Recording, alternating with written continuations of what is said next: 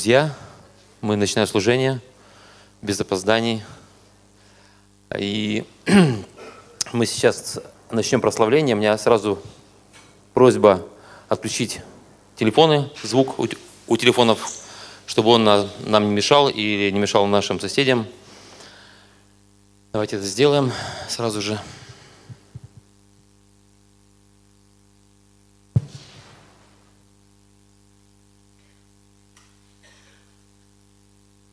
И мне бы хотелось э, в, сам, в самом начале служения э, сказать э, о том, что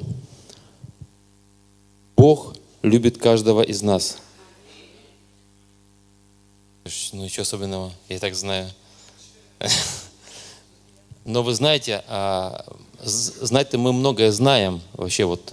И мы научены из Писаний, и зачастую мы бываем очень сильно такие умные, мы знаем, как нужно, что нужно, и, но самое главное, вот а, в последнее время просто об этом задумываюсь, все, что мы делаем, все, что мы делаем для Бога, очень важно делать, во-первых, с Ним, во-первых, с Ним. Как а, просто слушая недавно а, одну проповедь, такую мысль услышал, а, как один очень такой уважаемый старый служитель, на самом деле помазанник Божий. А, в конце своей жизни у него была такая, такая, такая была беседа с Богом, и Бог ему сказал, я говорю, знаю все твои дела, ты много для меня сделал, но мне бы хотелось, чтобы ты это делал со мной.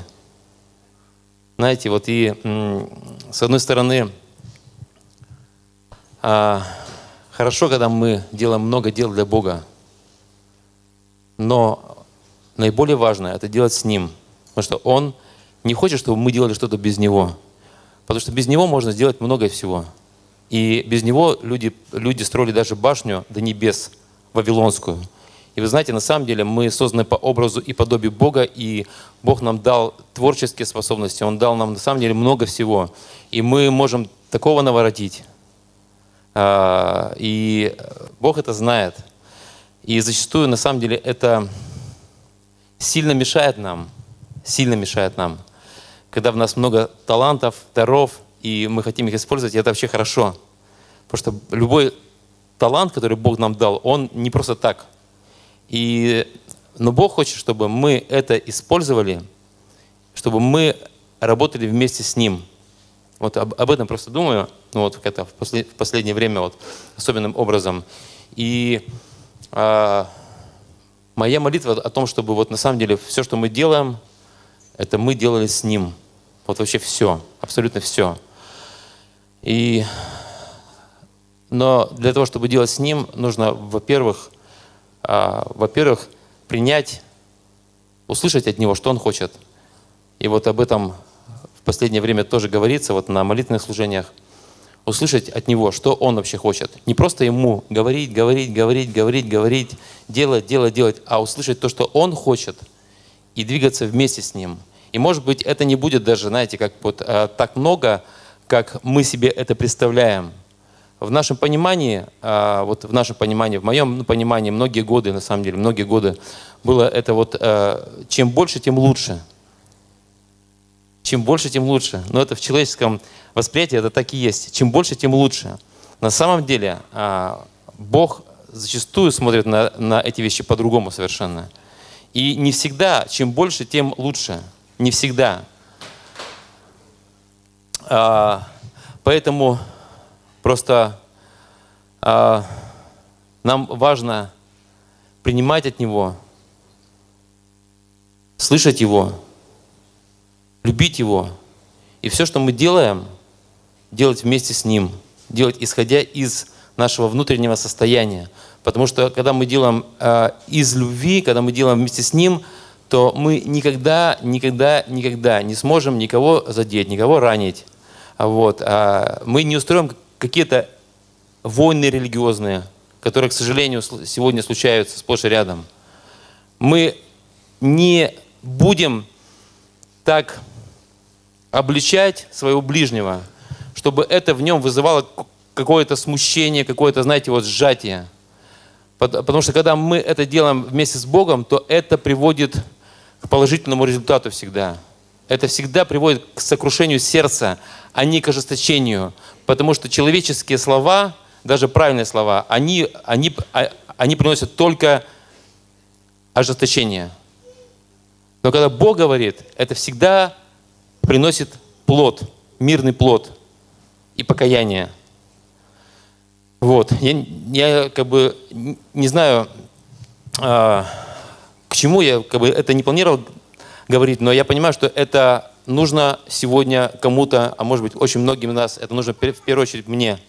Вот. И поэтому а, давайте мы сейчас поднимемся, и мы попросим, чтобы Он руководил нашим служением, нашим Э, нашей жизнью, нашим движением, нашим прославлением, чтобы Он руководил, чтобы мы дел, все, что мы делаем, делали вместе с Ним, исходя из нашего благодарного сердца, а не, а не просто из, из того, что мы должны что-то. Мы не должны ничего никому, кроме взаимной любви. Отец Небесный, мы благодарны Тебе за то, что Ты вот меняешь наше состояние, Господь, наше состояние сердца, Отец. Мы благодарны Тебе, Господь, за то, что вот все, что Ты делаешь в нас, Ты делаешь любовью, Ты делаешь из любви. Господи, мы благодарны Тебе за то, что вот мы можем, как дети Твои, Господь, прийти к Тебе, такие, какие мы есть. И Ты принимаешь нас, таких, какие мы есть, Господь. И Ты врачуешь нас, Ты обнимаешь нас, ты наполняешь нас своей любовью, Господь. Ты обличаешь, Господь, но это обличение, оно приводит к покаянию, Господь. Оно приводит, Господи, к какому-то вот сокрушению сердца, Отец. И мы хотим, Господи, вот на самом деле мы хотим двигаться с Тобой. Мы хотим, мы хотим, Господи, вот а, когда мы поем Тебе, когда мы, мы, мы прославляем Тебя, чтобы это было на самом деле из нашей внутренности. Не просто потому, что кто-то это сказал, не просто потому, что это кто-то делает рядом с нами, Господь, но потому что мы благодарны Тебе, Господь. Потому что мы благодарны Тебе, Господи, то, что Ты взял нас, Ты возлюбил нас, Господь, когда мы, мы были еще грешниками, Господь. И Ты умер за нас, когда мы еще не знали Тебя, Господь. И когда мы творили всякое зло, Ты тогда уже умер за нас, Господь. Потому что Ты знал нас и любил нас, Отец. И мы благодарны Тебе, Бог наш, то, что Ты поднял нас и омыл нас, и убелил нас, Господь, восстановил, Господи. Мы благодарим Тебя за то, что Ты любишь и изливаешь потоки своей благодати на нашу жизнь, Господь, несмотря ни на что, Господь. Благодарим Тебя, Господи, за Твою безусловную, всеобъемлющую любовь, которую Ты изливаешь потоками, Господь, с неба. Благодарим Тебя, Иисус, за жертву Твою, которой мы спасены, которой мы спасены, Господь, от огня, Господь, которой мы спасены, Господи, исцелены от всякого сомнения, Господи. Благодарим Тебя, Иисус. Благодарим Тебя, Господь наш Бог всемогущий. Благословляем имя Твое, Бог наш. Аллилуйя. Прощи масо. Слава Тебе, Господь. Аллилуйя. Жертва Иисуса Христа. Я спасен от огня. Ранами Иисуса Христа я исцелен. Нет сомнения, кровью Иисуса Христа я омыт от греха. Через смерть Иисуса Христа мне дана жизнь вечная, жертва Иисуса Христа. Я спасен от огня, ранами Иисуса Христа я исцелен. Нет сомнения, кровью Иисуса Христа я омыт от греха. Через смерть Иисуса Христа мне дана жизнь вечная. Благослови душа моя Господа, Господа, и вся внутренность моя, святое имя Его. Благослови душа моя, Господа, о Господа, благослови, и вся не забывай всех благодеяний Его. Я верю в Голговскую жертву, кровь святую Твою, жизнь вечную, то, что имя мое записано на небесах. Я верю в Голговскую жертву, кровь святую Твою, жизнь вечную, то, что имя мое записано на небесах. Я верю в Голговскую жертву. Я верю в Голговскую жертву, кровь святую Твою, жизнь вечную, то, что имя мое записано на небесах. Жертву, кровь Твою, жизнь вечную, то, что имя мое записано на небесах.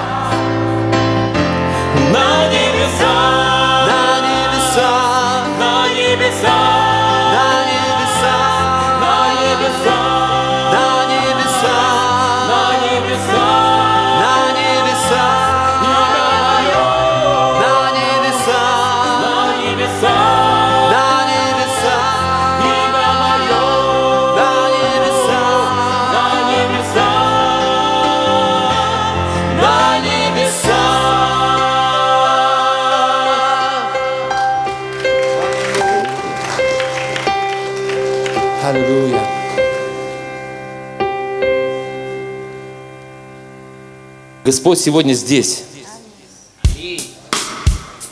Господь сегодня здесь, и Его могучая сила здесь, чтобы спасать, чтобы исцелять, чтобы врачевать всякую душу и всякое тело, всякий разум.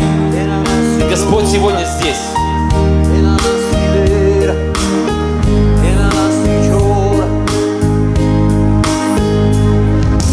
Я поднимаю с верою руки к Тебе.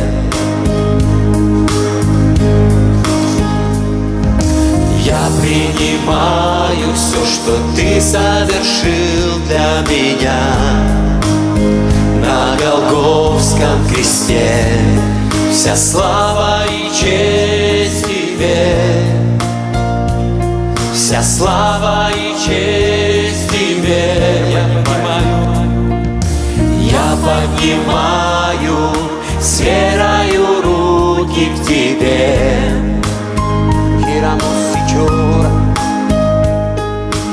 Я принимаю все, что Ты совершил для меня на Голговском кресте. Вся слава и честь Тебе, вся слава и честь Тебе.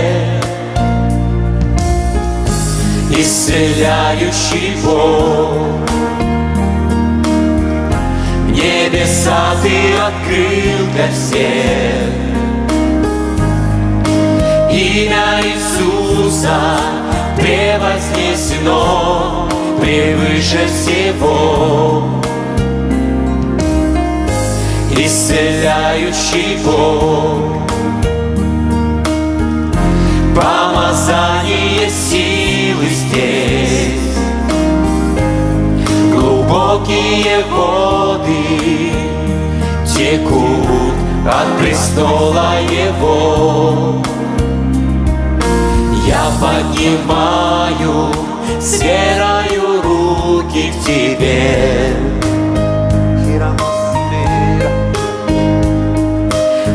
Принимаю все, что Ты совершил для меня на Голговском кресте.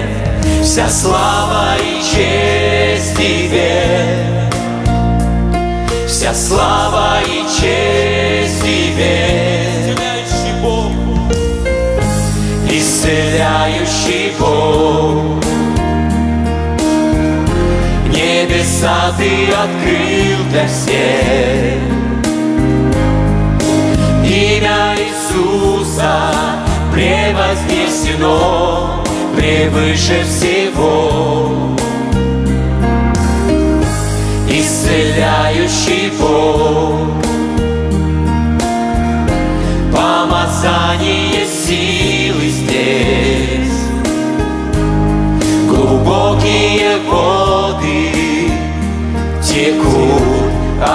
престола Его.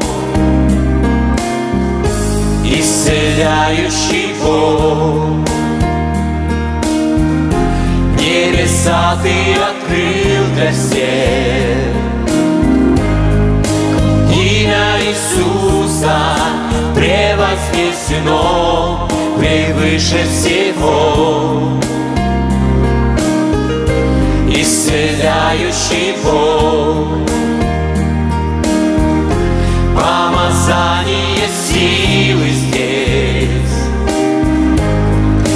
глубокие воды текут от престола Его. Глубокие воды текут от престола Его.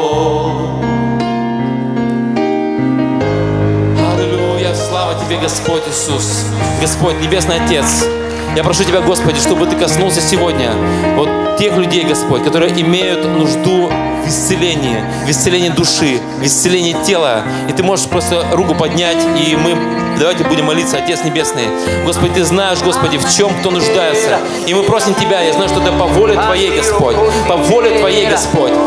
И э, если кто-то рядом стоит и видит поднятую руку, вы просто возложите руку на соседа и давайте вместе помолимся. Отец Небесный, Господь, коснись этих людей, Господь. Коснись этих людей, Иисус. Боже, пусть Твоя сила исцеления, Господь, она коснется каждого, кто нуждается в этом. Будь то душа это, или тело это, Господь, или это разум, Господи Боже. Мы просим Тебя, Господь, чтобы Твой елей, елей исцеления, Господь, он просто проистек с неба на каждую плоть, Господь, на каждую душу живую, Господь. Боже, пусть всякая рана, она будет исцелена. Пусть всякая болезнь, она будет удалена, потому что Ты, Иисус, взял всякую немощь и болезнь. Ты взял всякое проклятие, Господь. И мы исцелены от всякого проклятия. Мы исцелены от всякой болезни. Мы исцелены, Господь, от всякой поражающей силы, Господь. Боже, благодар, благодарны Тебе, Господь, за восстановление, за восстановление, за восстановление, Господь. Потому что Ты это сделал для нас, Господь. Мы принимаем через веру. Мы принимаем через веру, Господь, исцеление, обновление разума нашего, Господь. Исцеление души и исцеление нашего тела во имя Иисуса Христа. Мы благодарим Тебя, Бог наш. Благодарим Тебя, Отец, во имя Иисуса Христа. Аллилуйя. Аминь.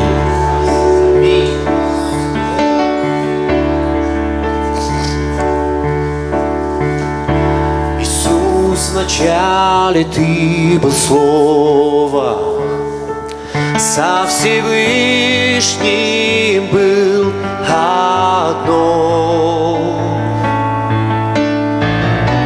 И слава скрытая в творении, в Тебе явилась наш Христос. Твое имя прекрасно, Бог, Твое имя прекрасно, Бог. Ты царь мой Иисус Христос. Твое имя прекрасно, Бог, ни с чем не сравнить его. Твое имя прекрасно, Бог, Иисус Господь мой. Твое имя прекрасно, Бог, Иисус Господь мой.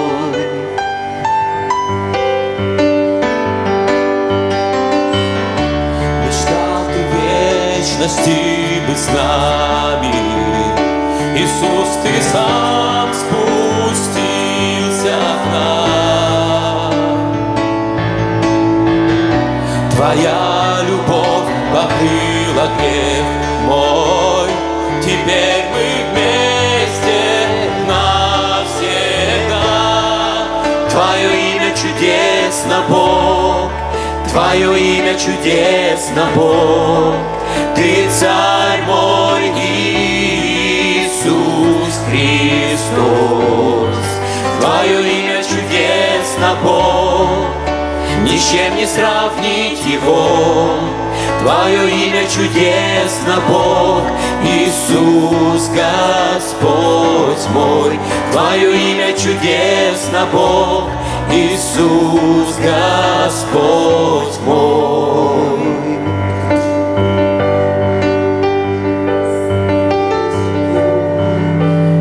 Мертвых воскрес ты, Нет больше завесы, Заставил умолкнуть грех и смерть.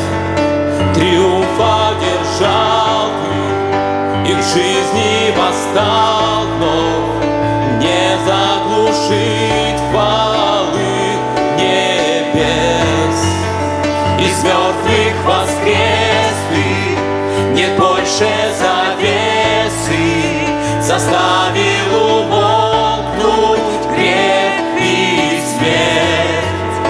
Триумф одержал И жизни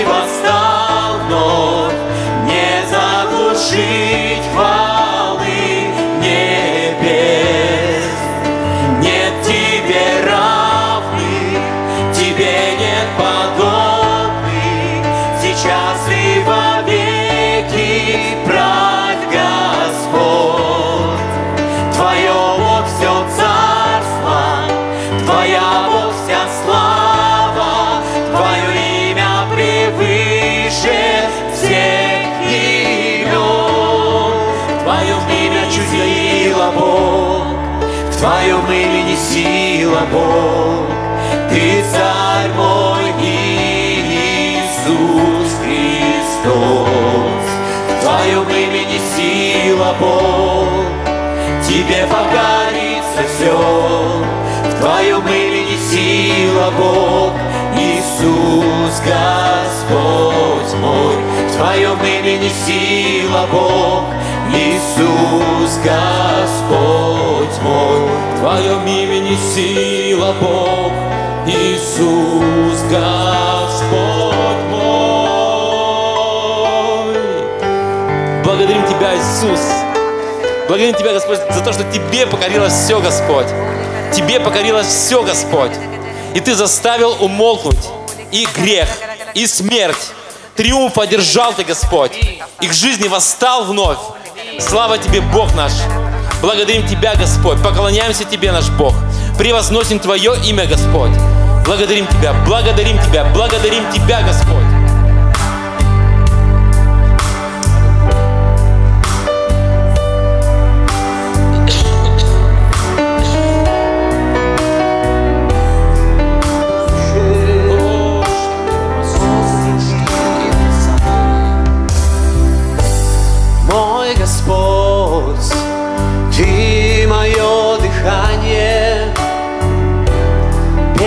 Тебя я не могу. Мой Господь, надежда, упование мое, без Тебя я не могу превозносить не перестану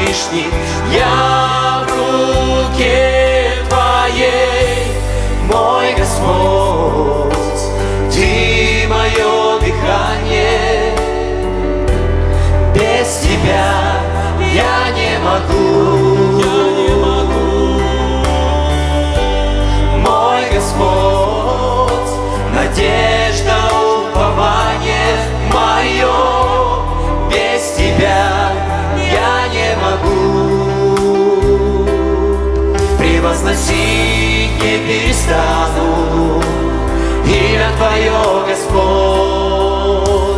Поклонюсь Тебе, Ты достоин славы всей, Осана вышних, я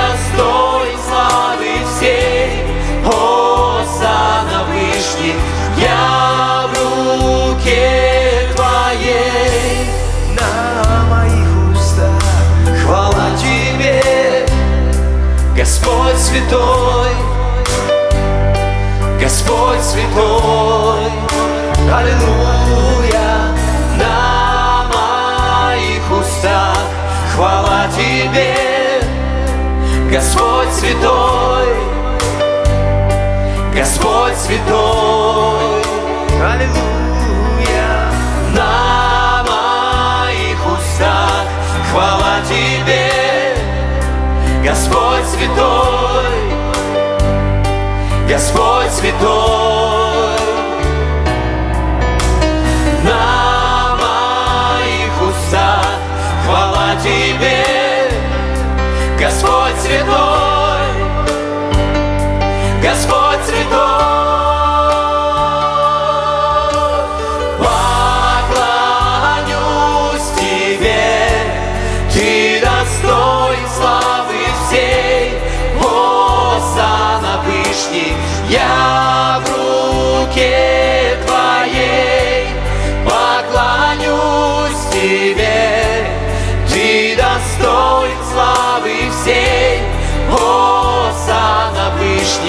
Вышний,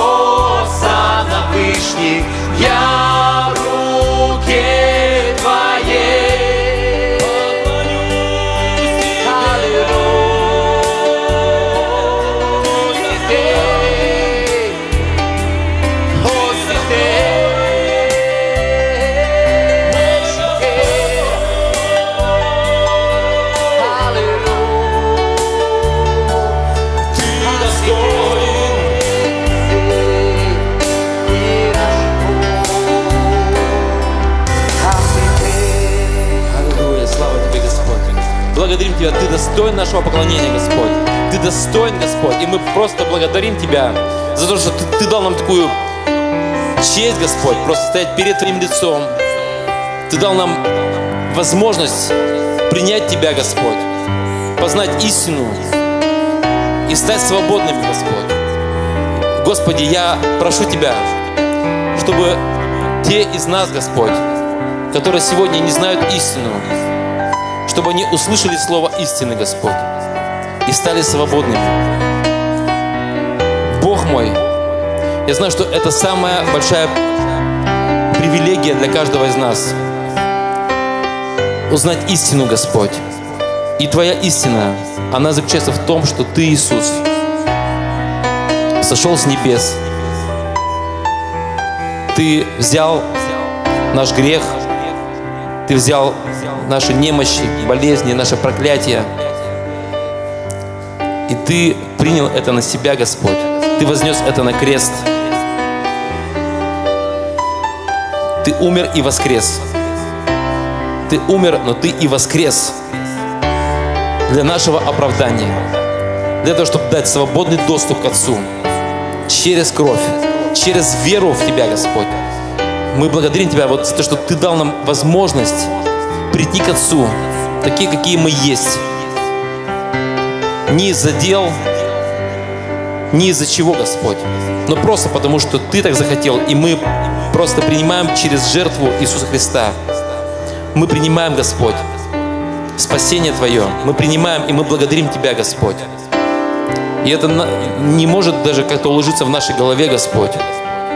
Как это так? Так просто. И в то же время так сложно.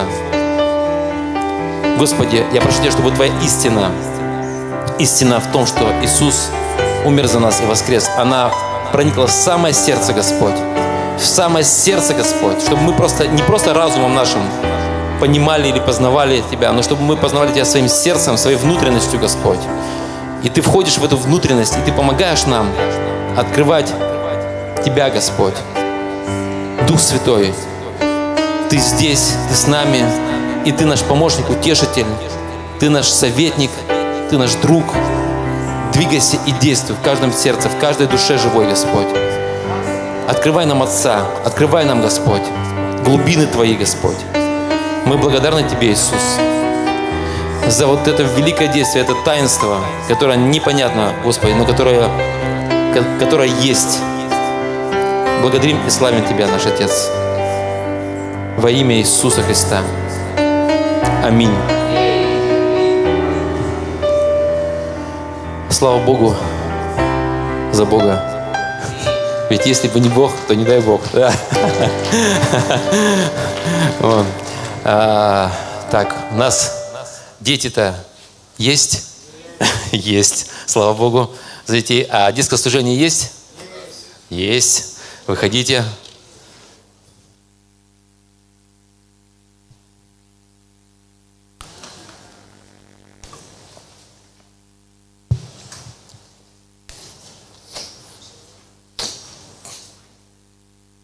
И сегодня у нас кто ведет детское служение? Маша, да? Угу. Слава Богу за, за, за подрастающее поколение, которое уже может взять в свои руки вот эту инициативу, эту эстафету и просто э, двигаться, заниматься с детьми. Вот. И вот эти детишки, да, вот сегодня вот они такие, да, пройдет совсем-совсем немного времени, время летит быстро, и они уже станут вот такими, а кто-то и вот такими. Мы уже видим такие примеры. вот. И а, они будут служить Богу, потому что наши молитвы, они а, не остаются тщетными. Наши молитвы за детей, они уходят наверх и спускаются вниз в виде измененной жизни, в виде жизни, которые посвящены Богу. И давайте мы сейчас вместе помолимся в этой молитве согласием, что мы, если мы согласны молиться за одно и то же, это молитва согласия, она имеет огромную силу. Господь Небесный Отец, мы благословляем наших детей, Господь, которые здесь есть сегодня вот в церкви, или которых сегодня нет, Господи, и малых, и больших, Господи, мы благословляем, Отец Небесный, вот нашим родительским благословением, Отец. И мы просим Тебя, Господь, чтобы Ты держал их в своих руках всегда, Господь, не отпускал, Господи. И даже если будут такие периоды в жизни, когда они по каким-то причинам, Господи, будут отходить от Тебя, Господь. Мы просим Тебя, чтобы Ты вернул их, вернул их на свои пути, Господь. Благослови, Отец Небесный. Конечно, наше желание, чтобы они всегда были на Твоих путях, Господь. Но мы, Господь, просто доверяем Тебе. Мы доверяем Тебе, Господь. Вот это водительство их, это их жизнь, Господь. И мы благословляем их жизнь, чтобы она была наполнена Твоим присутствием, Господь. Чтобы она была наполнена Духом Святым, Господь просто благодарим Тебя безмерно за то, что у нас есть на, на кого положиться, Господи Боже, и это Ты, и мы просто доверяем еще раз и еще раз наших детей Тебе, Господь, Твоей руке, доброй, просто защищающей, оберегающей, благословляем их во имя Иисуса Христа. Аминь. А, присаживайтесь, дорогие. Сегодня у нас насыщенное служение. У нас сегодня много проповедников, по-моему, 10, если я не ошибаюсь, да? Шучу.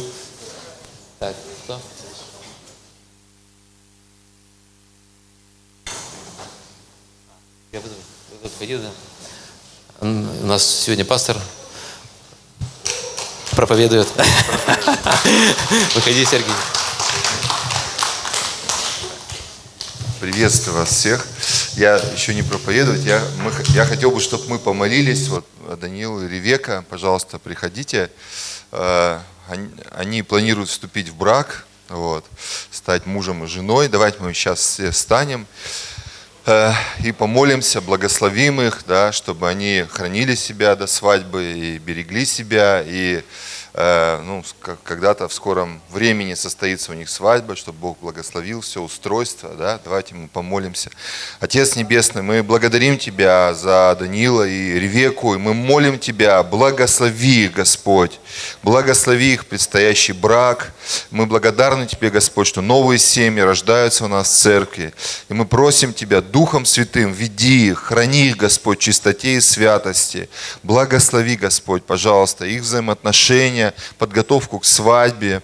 Благослови, Господь, каждый, каждый вот шаг их жизни во имя Иисуса Христа. Мы отдаем в руки Твои эту прекрасную, очень красивую пару и всю славу и честь воздаем Тебе, Отцу, Сыну и Святому Духу. Аминь. Аминь. Пусть вас Бог благословит. Пусть Бог благословит, да. Слава Богу. Вот. И сейчас, э, Саш, Саш, брат Александр, вот передаю микрофон сегодня Саша. Он больше похож на священника, у него есть борода. Да, да, бывает так. Когда на работе люди хулиганят у меня, я им так и говорю, ну, меня так и прозвали батюшка на работе. Я говорю, чада, будешь хулиганить, возьму лопату за другой конец и окрещу тебя по хребту. Ну ладно. А, знаете что, я сейчас вообще я, ну, в таком легком шоке, ну, хорошем, потому что э, получается я как с корабля на бал. Вчера мы с женой были на свадьбе, попали на помолвку, и вообще я собирался говорить о семье. Да, неисповедимы пути Господни. Хорошо. Э, Как видите, я вышел безо всего, без записей, без Библии. По- по- Почему? Потому что я сегодня больше буду не проповедовать, а буду свидетельствовать о том, как Господь изменил наши отношения с моей женой. Я ее сегодня специально вытащил, ягодку Галинку. Радость моя, как я ее в телефоне у меня записана, но это действительно радость моя, вот, которую Господь мне дает. Это действительно она, моя радость. Потому что когда я прихожу домой, меня встречает кто? Радость. Слава Богу. Вот. Мы, э, как, наша семья родилась 25 сентября 1993 года. Мы почти 26 лет женаты с Галей. И мы женились не по любви, я честно скажу. Я как честный мужчина был обязан жениться. Вот. Да, и поэтому у нас, естественно, взаимоотношений ну, были никакие. Через пару месяцев я вообще в армию ушел. В общем, через полтора года нашей совместной жизни я уже имел жену, которую не знаю, и сына, которого не видел. Вот, у нас так началась совместная наша жизнь. Естественно, мы, еще и мы жили так. Я жил в Череповце в общежитии, она жила у своей мамы в деревне. В общем, я приезжал по выходным навестить жену, справить, так сказать, естественные надобности. Вот, и уезжал. Все. У нас, в принципе, как бы обоих это все устраивало. Но все равно мне хотелось бы, ну как, жена там далеко, что-то редко вижу, дело молодое, хочется почаще с женой быть. Я ее стал всячески в город вытаскивать, вытащил и на свою, и на ее голову. Почему? А потому что мы же вообще разные люди. Вот. И, естественно, у нас начались очень сильные конфликты. Мы очень много ругались, мы очень много обижали друг друга, мы дрались, и в основном все это делал я. Вот. Такой монстрик небольшой. Ну, да. И знаете, вот к 24 годам я был, стал уже полным пессимистом. Почему? Потому что, как вот в песне у Владимира Кузьмина есть такая у него э, тема, но в жизни счастья нет и нет любви. Вот. Для меня это было уже все, это как бы не, ну, не нужно этому было мне ничего доказывать. Я четко знал, что именно в жизни все вот так вот. Естественно, я думал, ну к чему же все идет? Я стал искать, я молился, я реально, я был неверующим, я плакал дома и просил, Господи, помоги. И Господь помог, я покаялся, я пришел в церковь, вот. И знаете что, вот в моей жизни что-то изменилось, но в нашей жи- отношениях с Галей ничего не поменялось. Просто я убедился по Писанию, что я всегда прав.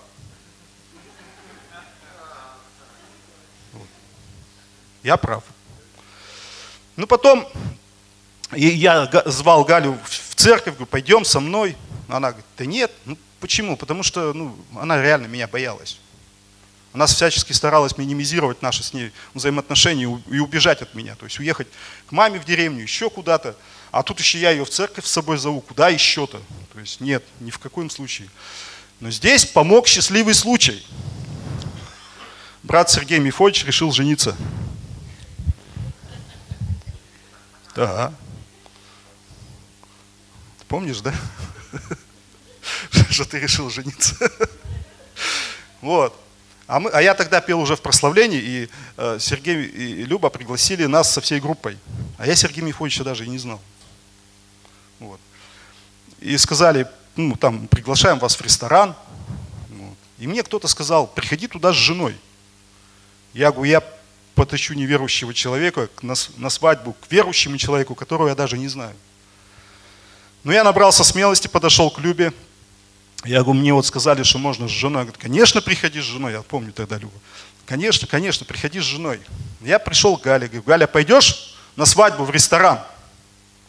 Ну а слово ресторан в то время, в 97 году, это для нас было что-то из, из другой галактики. Вот тем более это был ресторан Декема, по-моему, на тот момент самый новый, да? Да? Не помнишь? Я, я вообще как бы, это был мой первый ресторан.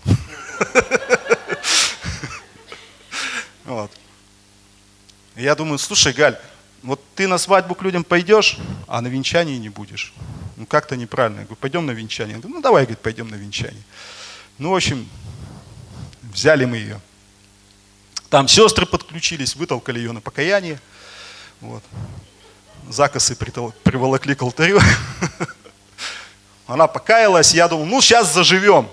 Сейчас заживем. Зажили.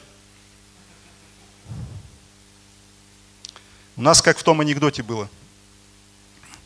А, когда приходит мужчина к пастору и говорит, что пастор не знаю, что с женой делать. Так что? Ну, говорит, что, скандалит, ругается постоянно. Я, говорит, ей не могу что сказать. А, говорит, ты ей ничего не говори, ты просто, как она начинает, а ты на это ей словом Божьим, словом Божьим. Говорит, ну, хорошо. Потом приходит, так что, ну, говорит, что, что, ну, вообще уже беда. Болеет постоянно, с головой проблемы. Что такое, да, я схожу, посмотрю. Приходит пастор, да, жена то та та та та та та та та та та та та та на него там, а муж ни слова не говоря подходит, берет Библию и хрясь ей по голове. Табук упала. Вот. У нас примерно так же было. Вот. Потому что я же по Писанию все, да, по Писанию я прав. И жена должна бояться мужа, мужа своего. У нас все по Писанию было. То есть меня жена боялась. Вот. И не дай Бог она меня бояться не будет, и я ее еще больше тутустрашу. Вот, у нас такая веселая жизнь была. И знаете, вот честно говоря, было не до смеха. Ну, честно. Почему? Потому что вот э, тогда мы, э, я везде как бы, куда меня не звали, я везде, там вот цементный завод, песчаный карьер, да, всюду я там. Евангелизация там, служение здесь, еще где-то здесь. Вот, и как в той песне, тут за день так накувыркаешься, домой придешь, там ты сидишь. Вот. И, ну, ругань была, опять ругань, ругань, то есть верующая семья. И у нас в этом, в нашей церкви, да, тогда начались э, супружественное всю жизнь семейное служение. И нам все говорили, вам надо пройти там обучение, вам надо пройти, пройти. Я говорю, что мне там, что вы мне хотите там рассказать? Я все знаю. Причем не только знаю, я все это применяю. Я практика, не теоретик. Я говорю, что вы меня можете научить? Я, я никак, вот я не хотел. Я говорю, что по-пустому тратить время? Нечего там делать. Вот. Ну а там проводились такие организационные вечера, и Галя приходит мне и говорит, слушай, я записал на нас на организационный вечер. Я говорю, зачем? Я туда не пойду. Я же тебе уже много раз говорил, я туда не пойду делать, там мне нечего. Она говорит, а я уже деньги на чай сдала. Я говорю, ну вот. Жаба подкралась незаметно. Я говорю, ну что, придется идти отъедать деньги-то. Ну, меня там уломали, я записался. Ну, лава, давайте, давайте. И так я что-то думал, ну вот, если к этим людям пойдем, ну, нормально пообщаться. Ну, вообще не к тем записали. Я, я опять, ну, ну что, хотелось там с людьми пообщаться, тут, ну, кого-то не знаю, да, ну, как бы неинтересные люди. И, в общем, я не знаю, какого мега, супер, долго терпения Бог дал этим людям, которые были нашими наставниками на тот момент, но они меня вытерпели. Почему? Потому что я больше, около, около года им действовал на нервы на этих обучениях. Я, не они меня учили, я их учил, сидел. То есть они читают, что-то объясняют, я говорю, нет, не так. Надо так, и вот так, и это. В общем, ну, знаете, под самый, под самый-то под конец я увидел, что вот те пары, которые были с нами, они что-то свидетельствуют, они что-то рассказывают интересное. Что-то у них меняется. Я тогда понял, что я что-то не догоняю. Что мне что-то не хватает. Что-то я где-то упустил. Они что-то взяли, а я нет. Как это так? Я же духовный еврей. Мне что же надо? И больше. Я тогда Гале сам предложил, слушай, Галь, давай еще раз придем, второй раз сам. Ну, видели бы глаза и наших наставников, и ее. Человек, который сидел и говорил, что это, это вообще не надо, ничего, тут сам говорит, давайте еще раз. Но мы с ней прошли, и, знаете, действительно отношения наши поменялись к лучшему. И я думал, ну все, мы получили то, что хотели. И так прошло около 10 лет. И вот сейчас самое интересное. Буквально 5 лет назад у меня э, такая ситуация началась в жизни, что я опять одно служение, другое, третье, пятое, десятое. Галя тоже служила, она в детском служении, она до сих пор там служит, слава Богу. И мы с ней стали опять ругаться. Причем ругаться очень жестоко. А, знаете, какие мои претензии были к жене? Что она слишком много времени уделяет служению. Мои упреки были. Мы ругались реально над этим.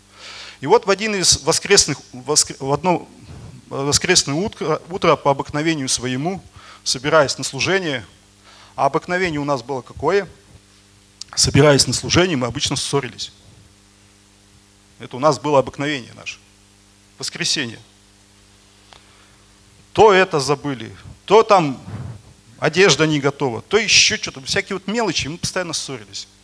И вот настал такой кульминационный момент, когда я просто уже, ну, тогда не сдержался, и мы опять подрались. Вот. Дьякон церкви, тенор в хоре, лидер книжного служения. Что еще там меня было-то? А, председатель общественной организации за защиту жизни и семейных ценностей Вологодской. Все вроде назвал эти регалии-то, да? Вот. Звоню, говорю, я сегодня не приду петь в хоре, что, я не могу, у меня проблемы, я не приду. Я, я, я реально не пошел. Это был и первый, единственный раз ну, на данный момент, когда я без какой-либо уважительной причины не пошел в церковь. Вот. И когда мы с Галей пришли, и чтобы наши вот эти вот все ну, поговорить. Единственное, чем мы тогда научились, это пытаться хотя бы нормально разговаривать, без всяких упреков. Я говорю, слушай, давай жить тогда отдельно. Неофициально, ну, разводясь, просто отдельно жить. Ты там, я здесь, ну или я там, ты здесь, и мы будем жить отдельно. То есть я деньги буду отдавать, там, ну, с детьми буду заниматься, но я так больше жить не могу. Ну, жена моя не согласилась, слава Богу, она сказала, сейчас, ты там один, а я тут со всеми детьми. Нет, ни в коем случае. И ситуация, э, ну, чем я говорю, а что нам тогда делать-то с тобой? У нас такой кризис был, реально кризис. Это пять лет назад всего было. Вот. Я говорю, слушай, еще есть выход. Говорю, давай еще раз на семейку пойдем. Он говорит, давай. А больше нечего делать-то. Ну, я позвонил э, Ильичевым, Гале и Саше, говорю, нам надо пройти семейку. Когда мы пришли туда, я им все рассказал. То есть вот как вот было, так и есть. Ну, некоторые моменты. Да, нет, там, по-моему, все, мы все рассказали, да? Все рассказали. Вот. Мне было стыдно. Почему? Ну, я уже все регалии назвал, да, на тот момент. Вот. Я думаю, ну что, вот, все, крах полный. Да? А через, какое, через некоторое время они мне говорят, нам Бог сказал, что вы должны стать нашими помощниками. Я говорю, какими еще помощниками? Вы что? У меня песчаный карьер, у меня цементный завод, у меня там этот силикатный завод. То есть у меня, на мне сколько? У меня времени просто нет на это. Я не могу. Говорит, ничего не знаем. Надо, надо, Федя, надо. Мама, мама, да? Там?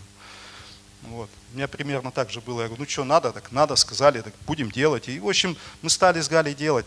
Э, и знаете, какое я получил откровение? Наши отношения не просто они восстановились, они еще лучше, к лучшему, еще больше к лучшему изменились.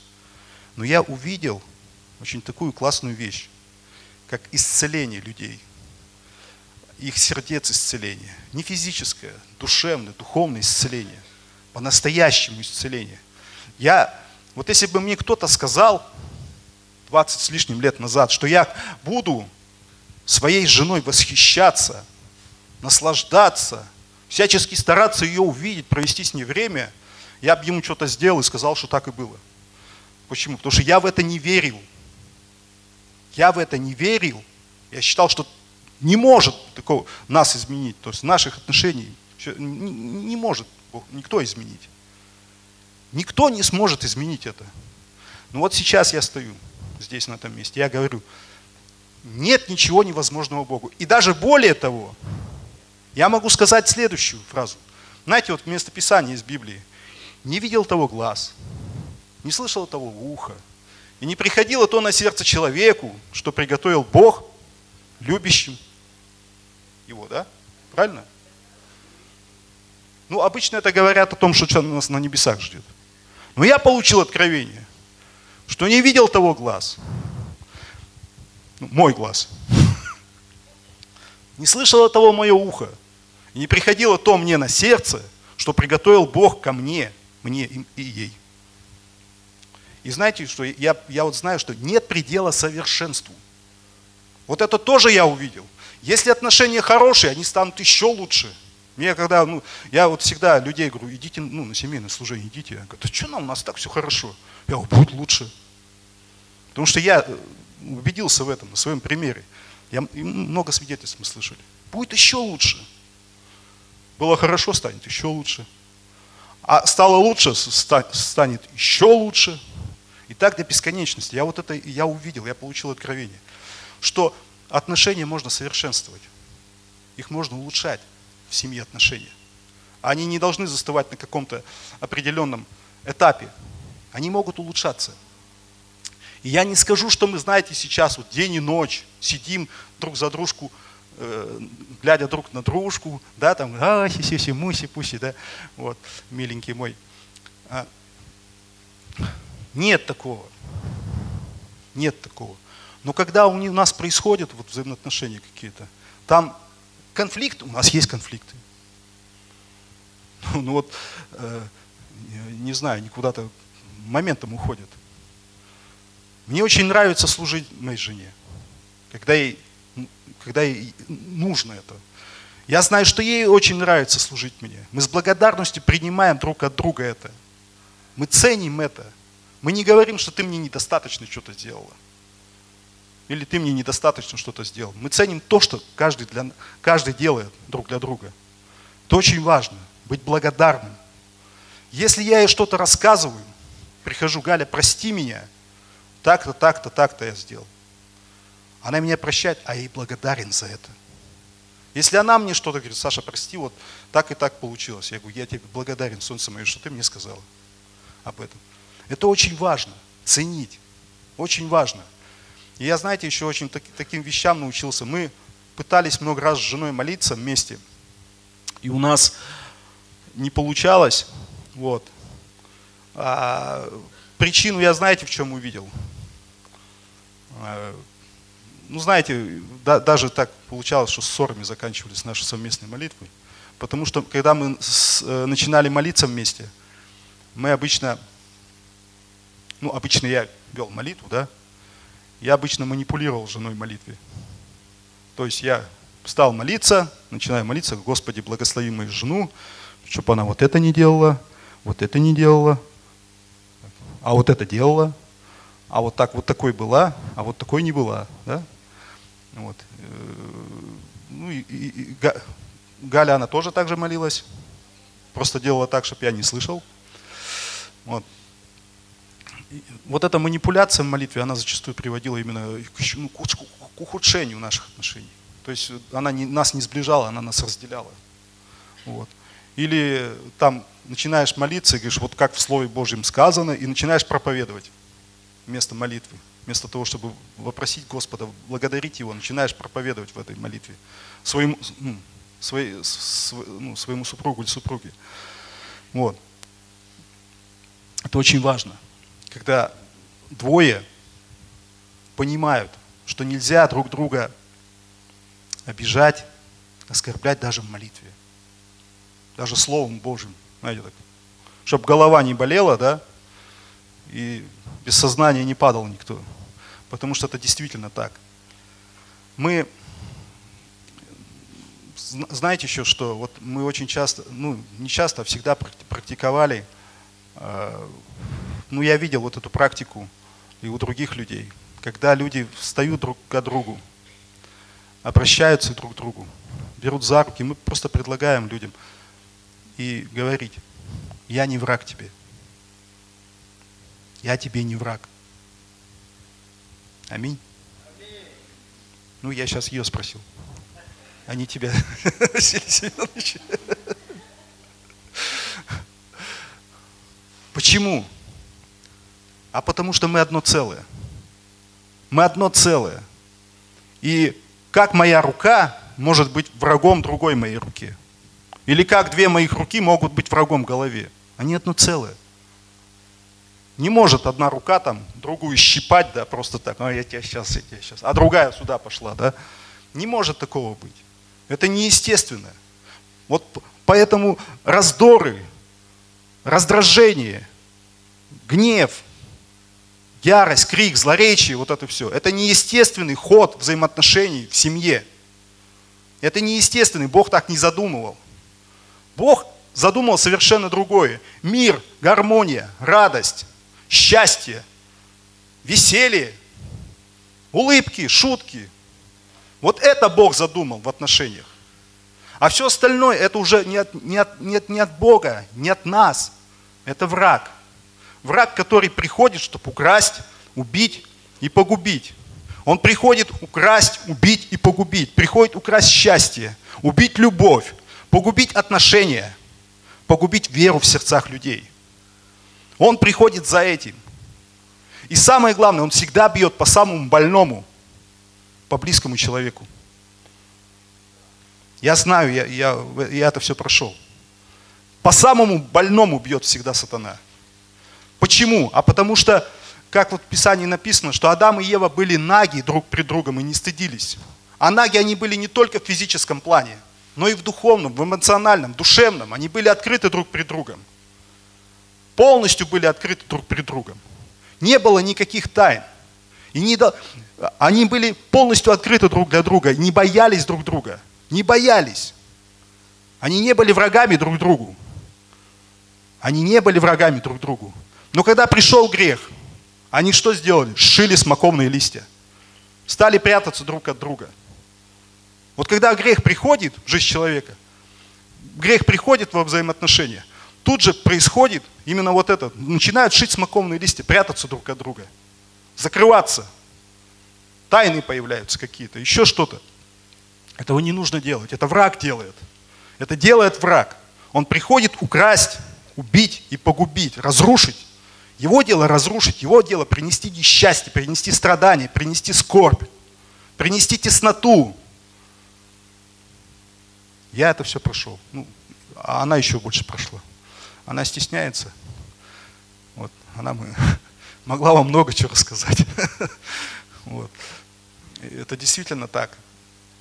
Поэтому, если вы вместе да, молитесь, не пускайте его ваши отношения. Не пускайте. Как только приходит какой-то гнев, раздражение, ярость, просто посмотрите друг на друга и скажите, я не враг тебе.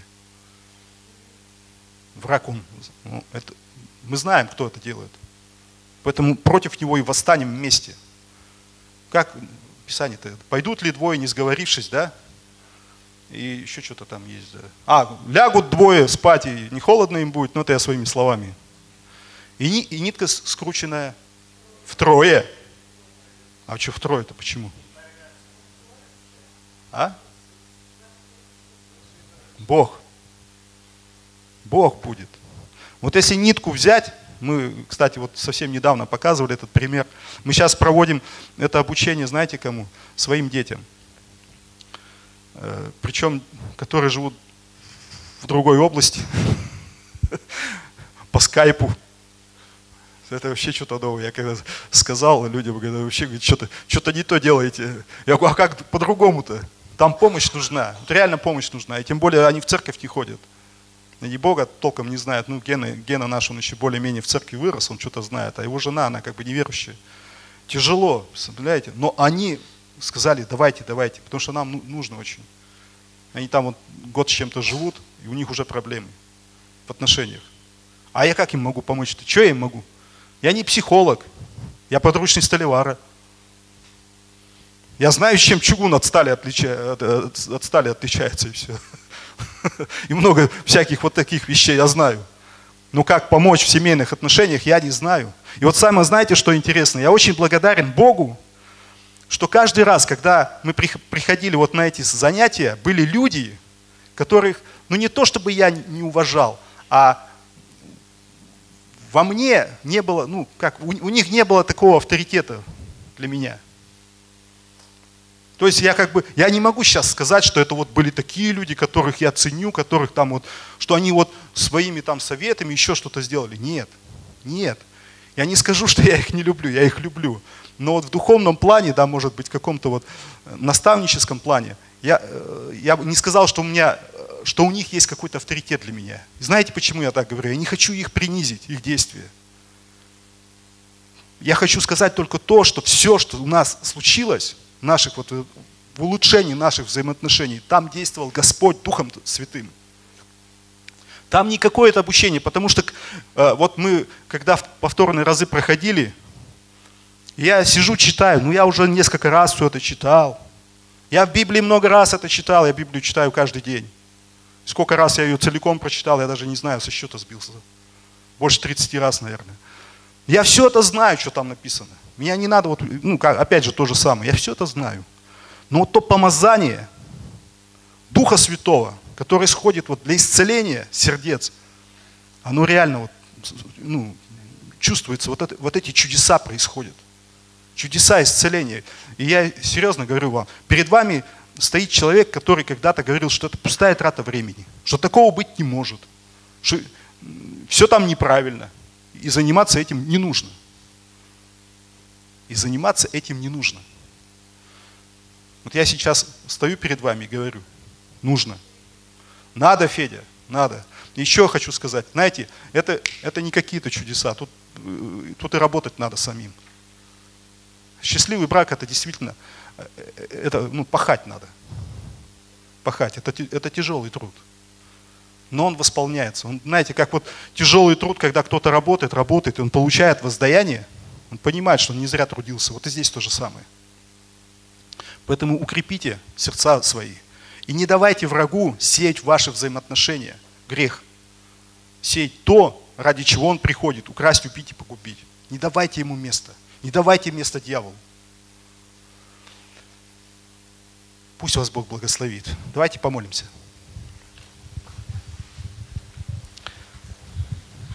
Слава тебе, Господь всемогущий праведный, святой, истинный и вечный. Ты достоин, Господи, всей славы и всей хвалы и всего поклонения. Тебе, Бог наш, Тебе единому слава и хвала. Ты, Господь, превознесенный. Ты, Господь, достохвальный. Ты, Господь, прекрасный и чудесный.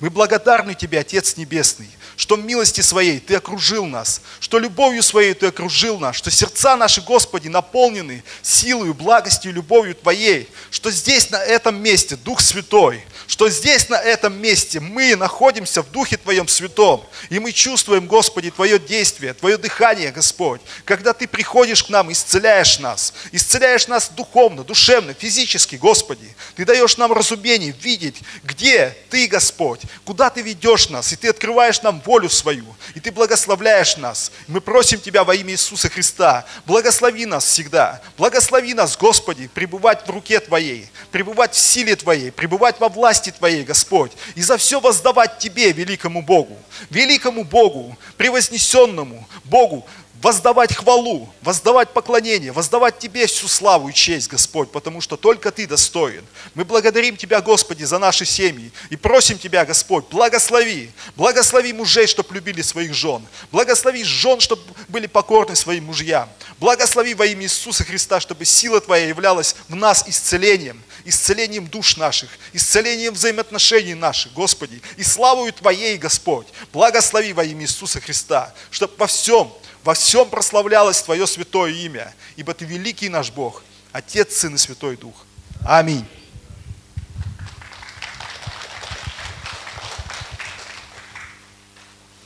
Вот э, когда слушаешь такие свидетельства, то э, вот, вот как можно сказать, да, что а где Бог? Очень часто бывает, лю- люди говорят, а где Бог? А мы не верим. Но вы знаете, когда вот, вот э, почему в Библии сказано, что они, то есть мы, то есть верующие, они победили его, кого его? Дьявола. Чем? Кровью Агнца и словом свидетельства. Вот слово свидетельство, оно является таким очень мощным орудием, базукой такой, а, которая разрушает всякие твердыни, которые строит сатана. И когда ты слушаешь свидетельство, то ты понимаешь, что а, вот нет такой ситуации, из которой бы не было выхода. Хотя я думаю, что в жизни каждого из нас были, а может быть, есть такие ситуации, когда, а, когда мы такое ощущение, что ну выхода нет. Я думаю, что у многих из присутствующих такие ситуации были, да. И когда мы на самом деле вот открываемся для Бога, вот как это было вот э, в этом свидетельстве, да, когда ты понимаешь, что ну ты сам не можешь ничего, и ты позволяешь Богу начать действовать в твоей жизни, то начинает все меняться. У Бога есть всегда выход. Это просто вот такое, знаете, вот э, вдохновление. э, я, я уверен для тех, кто сегодня в каких-то сложных обстоятельствах жизни находится. Всегда есть выход. Всегда есть выход. И я думаю, что вот таких свидетельств будет все больше и больше в нашей церкви. И э, я вот слушал Сашу, да, и как бы вспоминал то, что как бы, как, какой путь вот мы, мы проходили. У нас были тоже очень большие сложности, такой же был кризис, да, и слава Богу, Бог, Бог, Бог нас из этого вывел. И что бы ни было вот сегодня в твоей жизни, будь то это семейная жизнь, или, может быть, это какие-то финансовые сложности, чего тоже, кстати, хватает, вот я вижу, Бог силен тебя вывести. Просто а, доверяй Ему, доверяй Ему и, и проси мудрости, и проси водительства. И не делай это сам. Вот то, о чем мы, мы говорили в самом, в самом начале служения. Не делай это сам. Делай это вместе с Духом Святым. Тогда все будет хорошо. И э, вот я хотел бы тоже коротко сказать, буквально пару минут, о том, что вот в, в нашей жизни э, буквально несколько дней назад э, наступил тоже такой, знаете, вот прорыв. Мы вышли из долгого, долгого, долгого, долгого финансового рабства. Это было больше 7 лет, наверное, лет 10, как мы начали двигаться. И я знаю, что есть у нас э, такие люди, которые сидят в таком же рабстве. И я просто вас вдохновляю, что выход есть. И этот выход, вот как Саша сказал, да, что это было, ну, это было непросто, это было долго. И я могу сказать, в нашей жизни тоже это, этот выход был непростой и не быстрый. Это был дол- долгий и даже местами мучительный. Но я знаю точно, что этим, вот этим путем на, нас вел Бог. Он нам помогал, вдохновлял, давал возможности. И зачастую, а, опять же, то, что я вижу, а когда случаются в нашей жизни какие-то сложности, а, мы склонны уповать на быстрое решение вопросов. Знаете, как мы путаем Бога с волшебником в голубом вертолете, который... Вот мы хотим, чтобы было все быстро и легко. Вот. А, но зачастую Бог, я, я понимаю, что у него есть масса возможностей, но чаще всего Бог не делает быстро и легко. А почему? Потому что иначе мы не сможем научиться. Мы не получим того опыта, который в общем, нам в дальнейшем поможет а, избегать вот таких вот ловушек. Да? И в нашем случае, когда а, там 7-8 лет назад а, была а, такая ситуация, когда не было выхода из тех долгов многомиллионных, да, которые образовались в результате моего бизнеса, и я не знал, как, как, что, что делать. И, э, ну, первое, что, что я начал делать, спасибо моим друзьям, которые мне помогли, спасибо моей жене, это я начал молиться. Первое, начал молиться. Вот. И э, когда один из братьев в Москве, э, ну, такой муж Божий, на самом деле, он, он, он молился сам за меня и сказал, Бог тебе поможет, Он тебя проведет и выведет. И с тобой ничего не случится, все будет хорошо. я подумал, слава тебе, Господь, все, сейчас все случится, вот так вот. Но потом он сказал, но быстро и легко не будет. В конце так добавил такую заметочку такую, знаете, которая меня так сильно огорчила. Вначале было хорошо, а потом стало как-то печально, да? Все будет хорошо, но легко и быстро не будет. Вот тебе здрасте. Вот. И на самом деле быстро и легко не было. Но я, кстати, очень Богу благодарен за этот опыт. Я думаю, что и Саша тоже может с Галей сказать, что спасибо за этот опыт, за вот этот долгий опыт и а, то, чем они могут теперь помочь и послужить другим людям. Вот. И я могу сказать спасибо Богу за вот этот опыт, который мы получили. И это на самом деле очень сильно нас изменило, это очень сильно нас а, а, изменило наши отношения а, и друг к другу, и к Богу, и вообще к разным сферам нашей жизни. Вот. И, знаете, вот, и, и, и Бог, как всегда, Он остался верен. Этот выход случился. Вот. И вот, и слава Богу.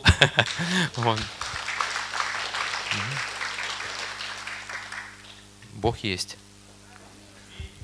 Слава Богу. Да, ну Игорь, ну я хотел бы дополнить Игоря, там, он, ну у него долг был такой большой, что не знаю, можно ли говорить, да, сколько, 5 миллионов или 7 миллионов, а, у него было 7 миллионов, знаете, долго, долга.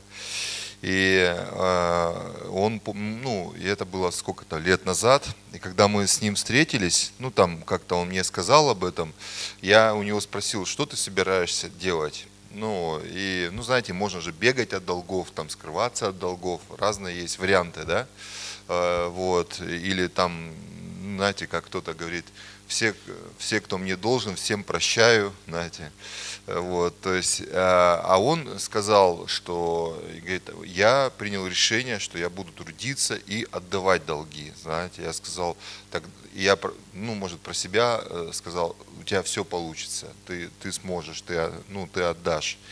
Вот, потому что я знал тоже другие ситуации, когда ну, там, один человек верующий, там, ну, давно верующий, у него были тоже большие долги, Э, и у него появился такой как бы бизнес э, вот э, на горизонте, и он рассчитывал, что он сейчас большие суммы получит. Я у него спросил, а, ну, этот человек в том числе и мне был должен, да. я спросил, а какие у тебя планы, когда ты вот заработаешь, вот те большие деньги, о которых ты мечтаешь? Он сразу сказал, дом построю, машину, и внутри у меня вдруг я внутри услышал, ничего у него не получится, знаете, ничего. И, и на самом деле так и произошло, там катаклизмы наступили, и, в общем, у него, он еще больше в долги влез, ну, в итоге, ну, тех, тех действий. Просто есть правильное, знаете, отношение, правильное это э, понимание вот этого вопроса, то есть от долгов ну, не надо прятаться, долги надо отдавать, это, это по-христиански, это правильно, знаете. А кто там пытается, что, Господи, сделай так, чтобы мне простили, это все дьявольщина. Понимаешь? То есть там ждать, что тебе там сейчас все простят и все такое. То есть, э, знаешь, вот э, у меня, э, я вот для себя решил, даже если бы мне простили, я бы все равно бы отдавал бы, знаете.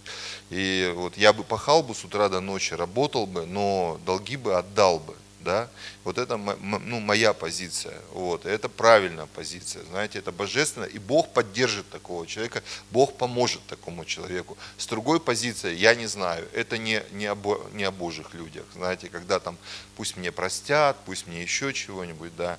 И вот Игорь позвонил мне несколько дней назад и сказал, поздравь, я, ну, все долги отдал, представляете, 7 миллионов, вот, то есть большая такая сумма. Слава Богу. Давайте мы сейчас склоним голову и помолимся. Да. Отец Небесный, я прошу Тебя во имя Иисуса Христа, благослови вот то слово, которое мне предстоит сейчас сказать. И Дух Святой, пожалуйста, прикоснись к каждому из нас. Измени нас, Господь, преобрази нас во имя Иисуса Христа. И, Отец, я прошу Тебя, благослови. Вот я буду говорить о молитве. И дай нам, Господь, научиться молиться. Дай нам осознать важность молитвы во имя Иисуса Христа. Я прошу Тебя, Дух Святой, открой нам это откровение и измени нас, Господь, сегодня, чтобы мы вышли отсюда с, с правильной позицией, чтобы мы стали людьми молитвы во имя Иисуса Христа. Всю славу и честь отдаем Тебе, Отцу, Сыну и Святому Духу. Аминь. Аминь. И я хочу сегодня, да, продолжить говорить о, о молитве и о важности э, молиться. Э, вот. И одно из мест Писания, которое я хочу с вами прочитать, это 28, ой, 9 глава Евангелия от Луки. Сегодня у нас, к сожалению, ну, нет возможности высветить, э, но и я бы хотел, бы, чтобы вы еще и дома его прочитали внимательно. 9 глава, запишите себе, ну, или ну, запомни сложно, 9 глава 28 стиха. «После сих слов, дней через восемь, взяв Петра, Иоанна и Якова, взошел он на гору помолиться – и когда молился, вид лица его изменился, одежда его сделалась белой, блистающей. И вот два мужа беседовали с ним, которые были Моисей и Илья. И явились, э, явившись во славе, они говорили об исходе его, который ему надлежало совершить в Иерусалиме. Э, Петр же и бывшие с ним оттягочены были сном, но пробудившись, увидели славу его и двух мужей, стоящих с ним – и когда они отходили от него, э, сказав, э, сказал Петр Иисусу, наставник, хорошо нам здесь быть, сделаем три кущи, одну тебе, одну Моисею, одну Илии, не зная, что говорили. Когда же он э, говорил это, явилось облако, осенило их, и устрашились, и когда э, вошли в облако. И был из облака глаз глаголящий, «Сей есть Сын мой возлюбленный, Его слушайте». Да? Вот. И я хотел бы вам э, показать вот это место. Смотрите, какие важные слова. Э, э, то есть Иисус берет три, трех ведущих своих учеников, самых лучших, которых ну, он брал, которым он особое внимание да, всегда уделял. Это был Петр, да, здесь написано Петр, Иоанн и Иаков. И он зашел на гору помолиться – Сын Божий, знаете, пошел помолиться. То есть, если Сын Божий нуждался в молитве, то мы с вами, э, ну, тем более нужда, ну, нуждаемся э, в молитве, и нам нужно э, молиться, и я объясню, да, в ходе проповеди еще еще раз, почему нам важно, для чего нам важно. И он пришел на гору помолиться. И послушайте, какие важные слова.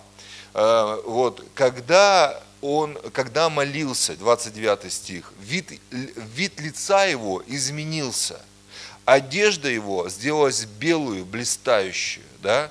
Я хочу вам сказать, братья и сестры, как, если мы начнем молиться, ну, по-настоящему, не так, не для галочки там на ночь, не просто, Господи, благослови этот супик, этот салатик там, да, чтобы не отравиться, там, еще не знаю, вот принимаю с благодарностью и так далее, а когда по-настоящему, да, мы начнем молиться, мы начнем меняться. И вы знаете, я вот ну, ну, наблюдаю там, и за собой в том числе, я вот сожалею, да, вот, ну, э, о том, что я не имел да, откровения о молитве и мало времени уделял э, молитве. Если бы я молился, то и моя жизнь, мое бы служение было бы гораздо на лучшем уровне, моя жизнь была бы более святой, более чистой, более использованной Богом. Но покуда мы не молимся, и сейчас я вижу да, проблему ну, во всех церквях это, да, вот, ну, Вологодчины, а в том, что люди просто не молятся. Вы знаете, что бы мне ни говорили, они молятся. Молятся ритуально, молятся для галочки, молятся так там, знаете. И чаще молитвы наши «дай, подай, подай, дай». Такие, знаете, мы попрошайки просто, да. Кто-то из нас уже давно-давно не задавал вопрос, Бог, а что ты хочешь, чтобы я сделал для тебя? А перед этим бы вопрос хорошо бы задать, Бог, а покажи мне на мои грехи, что мне стоит оставить, что мне, в чем мне стоит покаяться, где мне надо измениться, знаете, как мне преобразиться, как, чтобы лицо мое преобразилось, чтобы мои одежды, ну, духовные мои одежды преобразились. Знаете, нам нужно начать вот эти Богу вопросы задавать. И если мы начнем молиться, мы начнем, э, начнем преображаться. И вид лица нашего, и одежды наши будут белыми, блистающими. И когда он там молился, на горе преображения, именно в тот момент, вот знаете, удивительно, когда он молился, вы знаете, к нему пришли два мужа, Илья, это были два самых лучших представителя Ветхого Завета. Лучше их никого не было, знаете. Это был Илья и Моисей.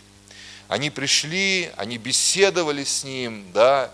А, получается, их было трое, Иисус, Илья, Моисей, и был еще Яков, Иоанн, Петр там на горе.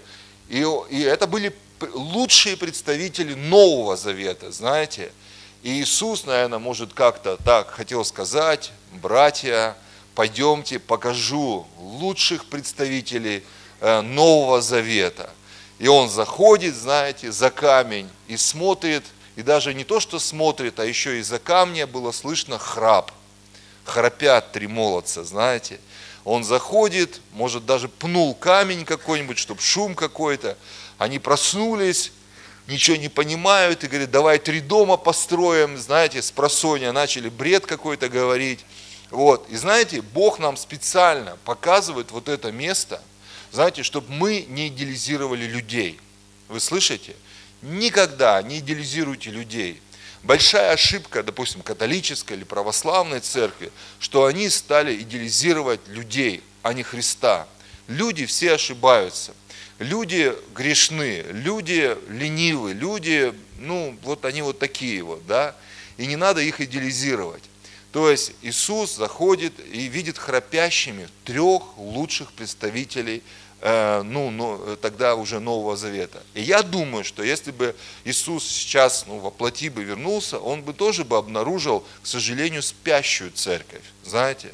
Потому что церковь, ну, по крайней мере, в России, или не знаю, вот, ну, я вижу, я наблюдаю это, я наблюдаю это в первую очередь в своей жизни, э, что она спящая, знаете, она в состоянии сна просто находится. И нам надо пробудиться от сна, нам нужно начать молиться – нам нужно начать молиться, чтобы, а, э, чтобы преобразиться. Нам нужно понять, что, послушайте, вот они, вот Иисус взошел на гору, стал молиться, и пришел Иоанн, э, ой, пришел, то есть э, Илья, Илья и Моисей. Вы знаете, что-то начало происходить в жизни Иисуса, особенное, когда он начал молиться. Когда Захария, отец Иоанна Крестителя, он взошел в храм – по, для каждодневния, он был священник. У него была мечта, знаете, в его жизни. Он хотел, э, чтобы у него был сын, но его жена была престарелая, уже ну, в годах. Он был такой э, уже не, не молодец, да. Но когда он вошел в храм, написано, и когда он стал служить там, явился ангел. Вы знаете, вот именно в тот момент он пришел, когда Иоанн Э, ну, Захария, то есть он молился, и у него исполнилась его мечта. У него родился Иоанн. Иоанн Богослов, которого знает весь мир, знаете, весь мир, который на протяжении всех двух тысяч лет его, его знают. Его знают, о нем знают, потому что это величайший человек, да, Иисус э, говорил, да, про него, что он э, и, всех рождаемых женщин, женщинами не было более великого, чем Иоанн. И это, ну, когда он молился именно, братья и сестры, вы знаете, но если ты не молишься, у тебя не может родиться Иоанн. У тебя не может, знаешь, что-то, одежда твои сделаться белыми, блистающими, лицо твое не изменится, жизнь твоя не изменится, знаешь. Если ты Богу не будешь говорить, Бог, прости меня, как если ты не будешь себя сравнивать с десятью заповедями, да, просматривать свою жизнь, может ты лукавишь, может ты лжешь, может быть ты блудишь, может ты воруешь, может быть ты не почитаешь мать и отца, и тебе надо покаяться, понимаешь, потому что Бог грешника не слышит. Да, мы не спасаемся благодаря десяти заповедей, я знаю об этом, но мы должны свою э, жизнь сравнивать с десятью заповедей. Как женщина смотрится в зеркальце и поправляет свой внешний вид, так же и нам следует смотреться в десять заповедей и поправлять свой духовный вид. Но если ты не приходишь к Богу в молитве и, и не просишь об этом Бога, ты не преобразишься. Я не преображу, никто не преобразится. Нам нужно приходить к Богу в молитве для того, чтобы ну, преобразиться. И я хочу также вам сказать, знаете, вот там на горе преображения был Моисей. Был Моисей. У него было две мечты. У него была первая мечта, когда он был здесь на земле, увидеть славу Божию. И Бог ему явился, он показал себя, но он сказал, ты не можешь увидеть моего лица, потому что если ты кто увидит мое лицо, то тот умрет. И он просто поставил его в расщелине, и он проходил мимо, и он как бы немножко как со спины увидел, да. И у него была еще другая мечта – войти в землю обетованную. Но он ослушался там, когда он ударил, ну, вместо того, чтобы сказать горе, чтобы она дала воду, он ударил несколько раз. И, река, и гора дала воду, но Бог сказал, за твое непослушание ты не войдешь в землю обетованную. Но знаете, Бог добрый, и Бог исполняет мечты. представляете, этот Моисей, он стоял на земле обетованной.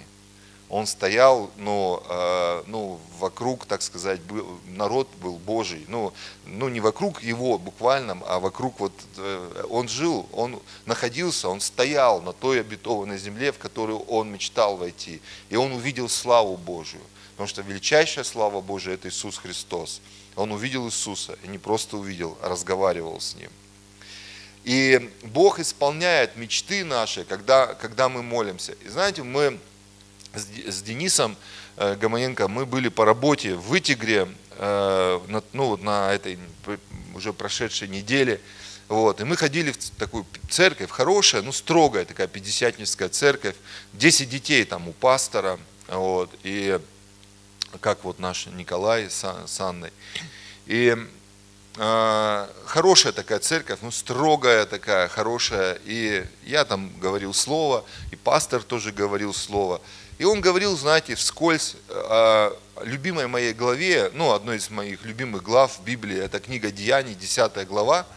Вот. И он говорил о, э, давайте я, я прочитаю, покажу вам, Деяния, да. Он говорил о Корнилии, да, это первый язычник, который уверовал, э, это первый язычник, который спасся. И он говорил о Петре, вот. И знаете, что я увидел? Послушайте, я прочитаю.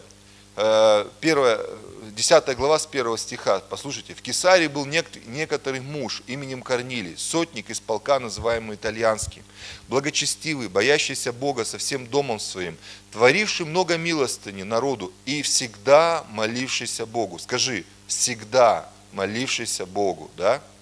Послушайте, он в видении ясно видел около девятого часа дня ангела Божия, который вошел к нему и сказал ему, Корнилий, он же, взглянув на него, испугавшись, сказал, что, Господи? Ангел отвечал ему, молитвы твои, услышьте мои братья и сестры, молитвы твои и милости твои пришли на память перед Богом. Итак, пошли людей в Иопию, призови Симона, называемым Петром. Он гостит у некого Симона Кожевника, который дом находится при море. Он скажет тебе слова, которыми спасешься ты и весь дом твой. Вы знаете, я увидел, вот Дух Святой, ну, там в Итигре, он мне показал, он говорит, посмотри, что-то удивительное, что-то особенное произошло в жизни Корнилия, потому что он молился. И когда он молился, к нему пришел ангел. Знаешь, но если ты не молишься, ну к тебе не придет ангел. Не придут к тебе изменения, не придет к тебе, если ты не молишься, твое лицо не преобразится, ну духовное лицо. Твои одежды не станут блистающими, если ты не молишься. Понимаешь?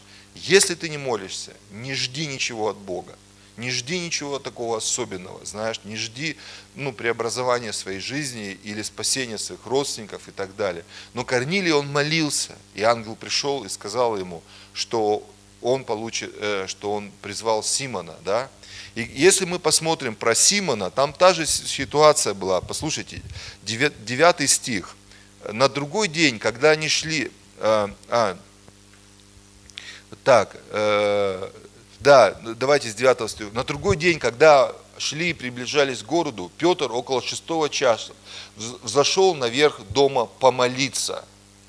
То есть, когда они шли, это кто они шли? Это э, Корнилий отправил в этот город, там расстояние 60 километров, говорят, э, он отправил э, ну, слуг своих и воинов, чтобы пригласить Петра. И вот написано, когда они шли, вот эти люди шли, вот, то Петр, он взял и он взошел наверх дома. Что он сделать? Помолиться. Опять помолиться. Знаете, и послушайте, и почувствовал он голод, и хотел есть. Между тем, как приготовляли, он пришел в выступление, и видит отверстное небо, исходящего к нему некого сосуд, как бы большое полотно, привязанное за четыре угла, опускаемое на землю.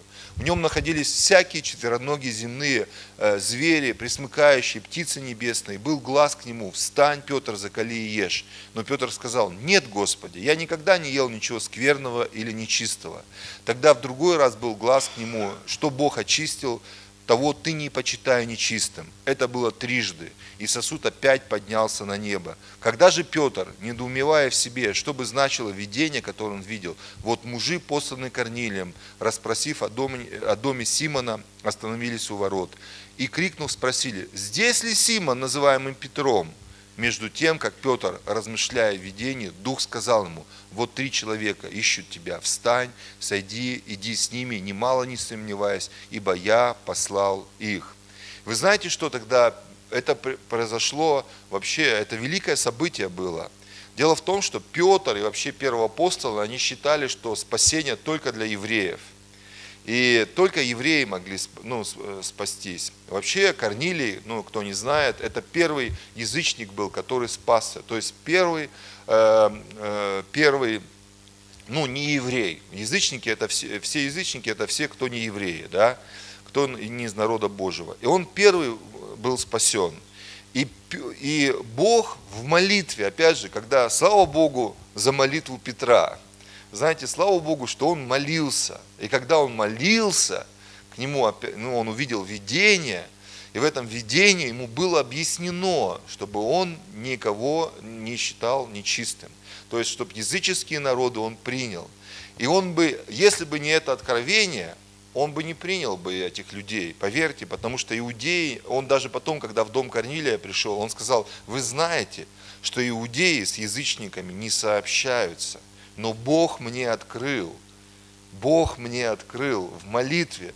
Он был преображен, как э, когда-то Иисус преобразился да, на горе преображения, так вот Петр, он преобразился от вот этого видения, он был преображен, и он уже никого не считал нечистым, он уже мог спокойно разговаривать с этими людьми. Он пригласил, он пришел к ним в дом, он зашел, он проповедовал. И когда он проповедовал, рассказывая об Иисусе, о том, что он умер за грехи человечества, был погребен и воскрес на третий день, когда он сказал эти слова, написано, Дух Святой сошел на Корнилия и на его дом, и они начали молиться на иных языках. И он сказал, если что мешает их тогда крестить. И они были крещены ну, в воде, и Петр остался там, написано, несколько дней. И он был э, преображен. И я хочу вам сказать очень важную фразу, запишите, это не мне принадлежит, это великому человеку. Молитва нужна не для того, чтобы измени, измениться, э, изменить что-то снаружи, а изменить тебя внутри. Вы слышите? Молитва нужна не для того, чтобы изменить что-то ну, э, снаружи, но молитва нам нужна для того, чтобы нам измениться внутри. Молитва нас преображает, как преобразила э, вот Петра, да, когда во, во время молитвы. И, вот, э, и мы часто просим э, поменять обстоятельства, но не себя, к сожалению. Нам надо просить изменить себя, а не обстоятельства. Бог бывает попустает, знаете, те или иные обстоятельства. Я сегодня тоже вот там в откровение получил. Знаете, бывает у кого-то бессонница. Поднимите руку, у кого бывает бессонница, да? О, многие. Вы знаете, я хочу сказать, когда у тебя бессонница, ты имей в виду, что Бог попускает ее для тебя, Он хочет просто поговорить с тобой он не находит времени никак. У меня была тоже бессонница, но я не мог этого понять, что Бог со мной хочет просто поговорить. И я молился, я каялся, там чего-то думал, праведнику дается сон, там и все такое. Но я просыпался каждое, каждый день долгое, долгое время в три, в три ночи. Я просыпаюсь, у нас, знаете, у нас в спальне, там, где, ну, Э, у нас такие часы, они, э, ну, как бы высвечивают на потолке время. Ну, поняли, да? Ну, такие часы. Вот, и мне видно, то есть, и в темноте сколько времени, то есть, вот, я просыпаюсь три часа, опа, опять три часа. Я не мог уснуть, знаете. И я понял, э, что Бог просто хотел пообщаться со мной. Мне, и надо мне было просто пойти в другую комнату, встать на колени, ну или просто сидеть, пообщаться с Богом, поговорить с Ним минут 30-40, и я мог бы спокойно уснуть, и хватило бы того времени, которое это. Поэтому, братья и сестры, если у вас э, есть такое да, в вашей жизни, то не переживайте, не беспокойтесь, просто уделите это время молитве. Да? И э, знаете, я еще, запишите тоже, это не мне фраза принадлежит, но мне очень понравилась такая. Уделяйте молитве лучшее время, чтобы избежать худшее время. Вы слышите? Уделяйте Богу лучшее время, чтобы избежать ну, худшие времена, ну или времена в своей жизни. Вот. И я хотел бы также вот не, э, поговорить с вами да, о том, что э, ну вот о важном, что тоже, послушайте меня, если не внесем время для молитвы в расписание своего дня, его никогда не появится. Если мы с вами не внесем в расписание своего дня время для молитвы, для общения с Богом, его никогда у вас не появится. Знаете, вот если люди, которые говорят, я буду много болит, молиться, там, я буду там вообще там постоянно молиться, я вот, я же библейский человек, постоянно молитесь, знаешь, то есть, э, если ты не выделишь время, вот какое-то определенное, ты, ты не будешь молиться. Это по опыту, это, знаете, это уже проверено там, ну, э, вот, тысячи лет там, вот, и э, поэтому я хотел бы вам сказать три наиважнейших вещи, почему нам э, нужно ну, молиться вот еще раз, да, ну не еще раз, что-то я повторю, то, что я на том собрании говорил, ну вот, первое, запишите, если, да, вот такое в поучении. Э, вы знаете, у Бога есть потребность, большая потребность в общении с нами. Вы знаете, запишите, что у Бога есть потребность. Почему нам важна молитва? Потому что молитва – это духовный разговор с Богом. У Бога есть потребность поговорить с нами, пообщаться с нами, чтобы мы вот вошли в комнату, закрыли дверь, вот очень важно, да, вот это, и чтобы у нас была вот эта личная молитва с Богом, то есть личное вот это общение, когда вы будете разговаривать. Вот всемогущий Бог – казалось бы, который ни в чем не нуждается, знаете, но у него, оказывается, есть большая нужда. Это нужда мы с вами. Это нужда, и мы были созданы с вами для того, чтобы ему, Богу, общаться. Он создал нас по образу и подобию своему, знаете. Он создал нас единственными существами, которые умеют разговаривать. Никто больше не умеет разговаривать, да, кроме человека. Э, вот. И поэтому это очень важно осознать И Бог ждет нас, чтобы с нами поговорить. Он хочет поговорить с нами. Он хочет сказать нам что-то. Он хочет, чтобы мы ему сказали, да. Вот. И э, вот когда мы остаемся, да, один на один с Богом, и мы э, разговариваем с Ним, Бог радуется, знаете, Бог счастлив. И э, не зря Иисус, да, Он написано, бывало, что целые ночи, ну, ну вот Библия много мест говорит о том, что Он целые ночи, Он поднимался, уединялся где-то, ну, на гору, и Он всю ночь, ну, пробыл в молитве, ну, э, с, с Богом. Вот. И нужно научиться получать удовольствие от молитвы, но если не молиться, то ну, ни, никогда как бы его, его и не получишь. Да? Второе, запишите, э, что через молитву, запишите, через молитву и только через молитву мы можем быть очищены от грехов наших. Через молитву и только через молитву мы можем быть очищены чтобы вот. И нам необходимо каяться в своих грехах, обнаруживаемые, э, под, э, обнаруживаемые посредством десяти заповедей. Нам нужно каяться в своих грехах, братья и сестры.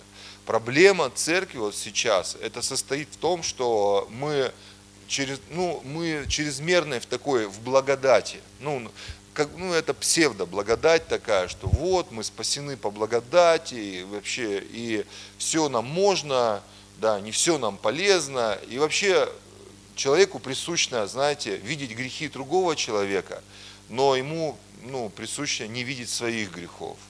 И нам нужно вот искренне, открыто перед Богом, со слезами, может, да, вставать на колени и, и анализировать себя, может открыть 10 вот эти заповедей и прогнать себя через 10 заповедей, что называется, да, посмотреть, нет ли идолов в нашей жизни, ну, стоит ли Бог на первом месте в нашей жизни, или может там игры стоят, или может быть э, эти деньги стоят, может быть э, карьера стоит, не знаю, много чего может быть стоять на первом месте, футбол, хоккей, там еще какие-то вещи, да, но стоит ли Бог на первом месте?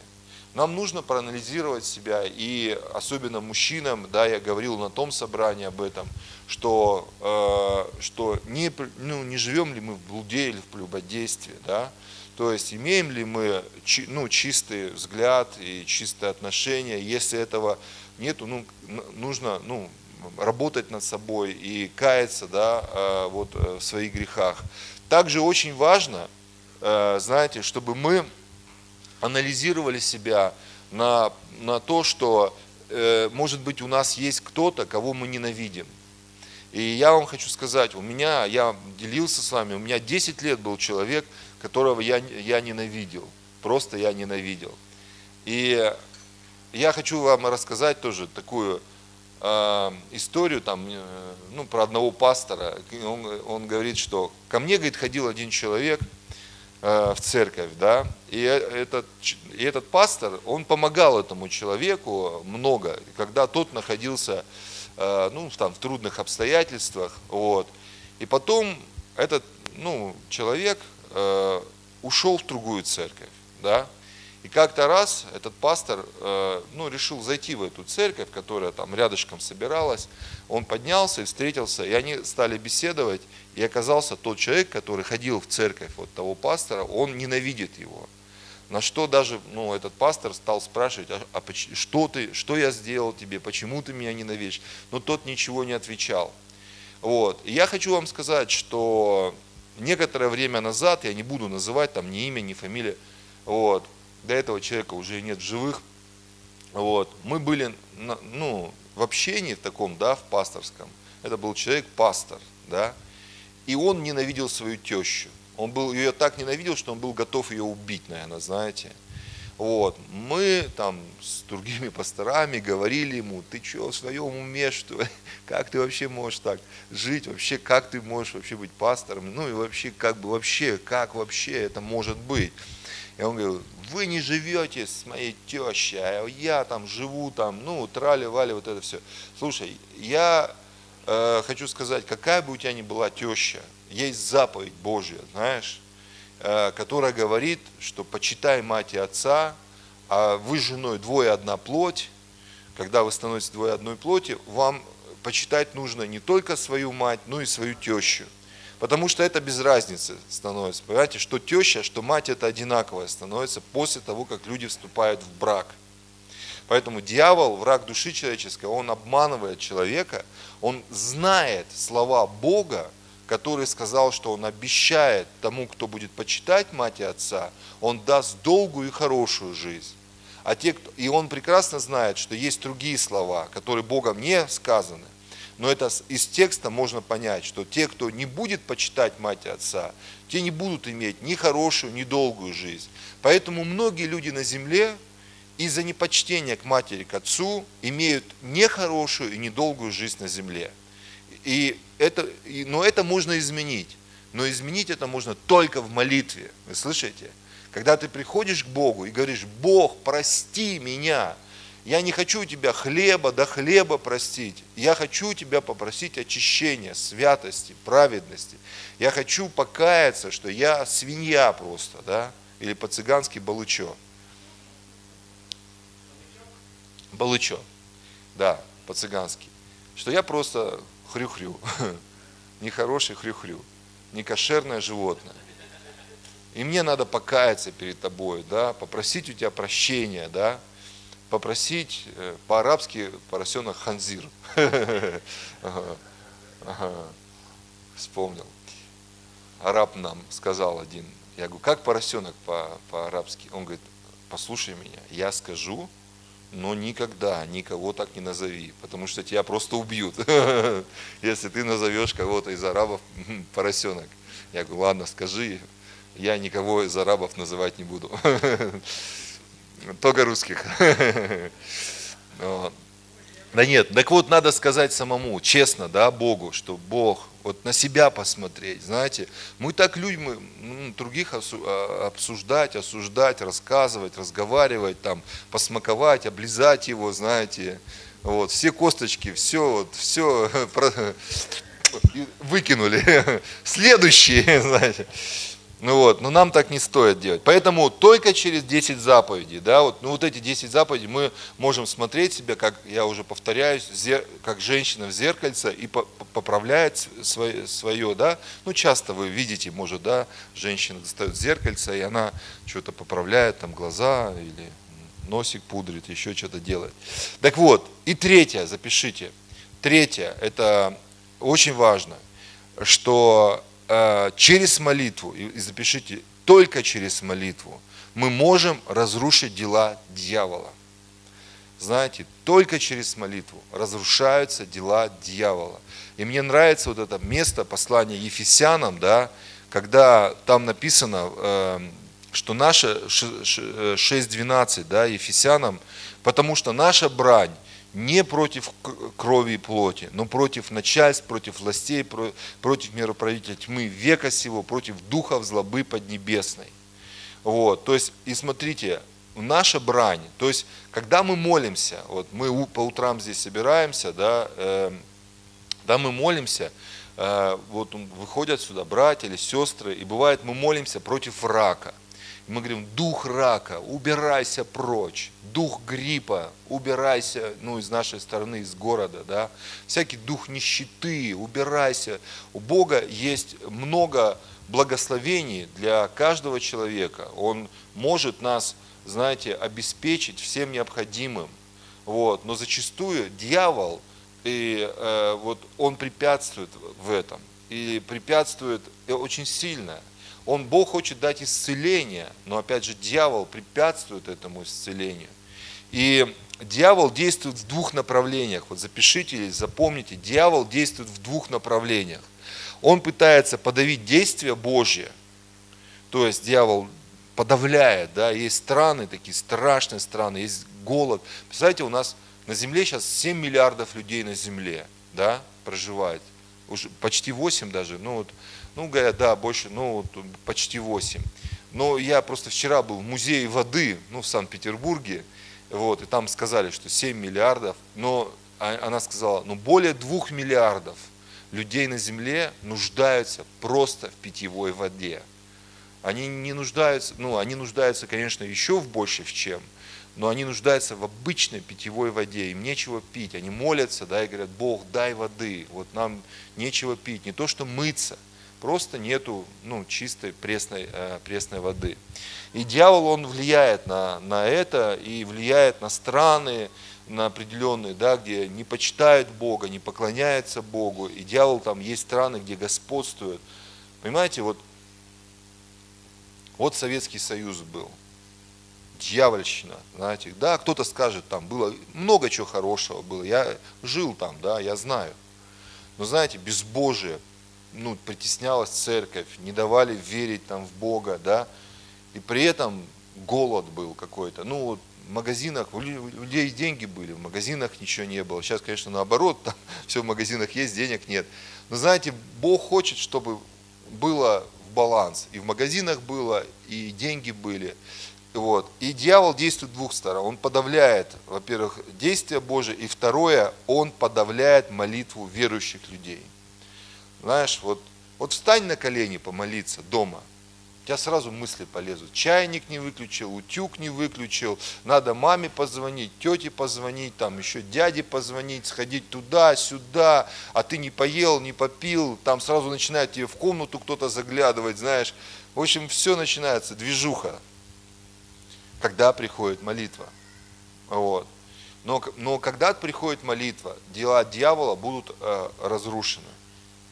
И я хочу вам рассказать такое завершение, историю, которую вот Йонги Чо рассказал. Он говорит, ну, пастор самой большой церкви в мире, он говорит, я проповедовал там по всему миру, но я, говорит, пережил японскую оккупацию, когда был ребенком, и были ну, оккупационные э, э, войска японские, и они издевались над нами, и говорит, и последняя страна, в которой бы я хотел бы ехать, а вообще бы я в нее вообще бы не хотел ехать, это была Япония. Вот. И как-то раз Бог говорит, сказал мне в молитве, Он сказал, я хочу, чтобы ты поехал в Японию и э, приобрел для Христа 10 миллионов человек. И он сказал, Господь, я не хочу в Японию, я, это та страна, куда я вообще не хочу. И, э, и, он, и, он, и он говорит, я сказал Богу, отправь мою тещу туда ну, проповедовать. Ну вот, я не хочу туда ехать. Ну, у него теща такая верующая, молитвенница. Вот, Бог сказал, все-таки послушай меня, я твой начальник, и ты должен мне повиноваться. Я тебе сказал, ты должен поехать туда. И он говорит, я был послушен. И пришло приглашение с Японии. И когда, говорит, я вышел за кафедру, и там сидели несколько, ну я не знаю, сотен или там уже тысяча там японцев.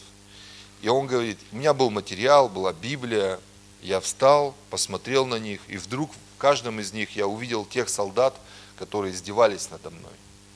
И он говорит, и я не мог ничего начать, не мог ничего говорить. Я стоял, просто молчал и смотрел на них. И он говорит, я простоял пять минут и молчал. И просто на них смотрел. Говорит, прошло 10 минут, уже стало все в недоумении. Ну, представляете, я бы сейчас вышел бы и 10 минут бы стоял, молчал бы. У меня всего тут 20 минут для проповеди, 30. Вот. И он, говорит, потом я сказал, говорит, посмотрел на них и сказал, говорит, люди, я вас ненавижу. Я терпеть вас не могу. Потому что я пережил оккупацию, пережил издевательство. Вот. И, говорит, и тогда эти люди стали встали как ручейком и стали подходить мне, жать мне руку, обнимать меня и говорить, прости нас, прости нас, прости наших предков, прости э, вот все, что за то зло, которое мы сделали. Я стал перед ними тоже. И, говорит, и божественно, как Божья невидимая рука, она вошла говорит, в мою сущность и достала вот этот шрам, вот эту рану, и моя душа была полностью исцелена. Знаете, то есть есть действие дьявола – и оно побеждается через молитву. Знаешь, если у тебя сын или дочь, ну или муж у тебя дурит, ну, например, дурит, я имею в виду там, ну, дьявольщину в какую-то погружается, еще что-то, ну, бывает. Знаешь, мой совет тебе, возьми три дня поста молитвы, и ты увидишь, как буш, преобразится, как изменится твой, э, ну, твой сын, или твоя дочь, или твой муж, или твоя жена, сильно преобразится все преобразится. Или у тебя есть какая-то проблема, да? Возьми три дня поста и молитвы. пей воду просто. Ничего, поверь, за три дня ты не умрешь, ничего с тобой даже близко не будет, знаете. Многих из нас даже за три дня не сильно-то и похудеем, такие как я. Так вот, и, но, пре, но преобразиться через молитву, через, и когда ты будешь молиться, ты ну, кайся да, в своих грехах, э, воюй с дьяволом, запрещай дьяволу, да, и будет преображение. Вот. И вот я хотел бы, чтобы мы в завершении, да, помолились сейчас с вами, вот, и братья и сестры тоже, когда вы молитесь, да, или я, я молюсь, э, я сегодня очень хорошо так помолился, и я просто прошел, знаете, я э, путь Иисуса Христа. Э, я имею в виду, ну, в, в мыслях, в молитве. И вы также можете, когда вы молитесь, да, вы можете представить, вот, как Иисус, Он шел. Э, ну, когда Он родился, потом, когда пришли пастухи, потом пришли волхвы. Вот. Представляете, удивительное дело – мужики солидные, умные, вот как Саша с бородой, я думаю, были.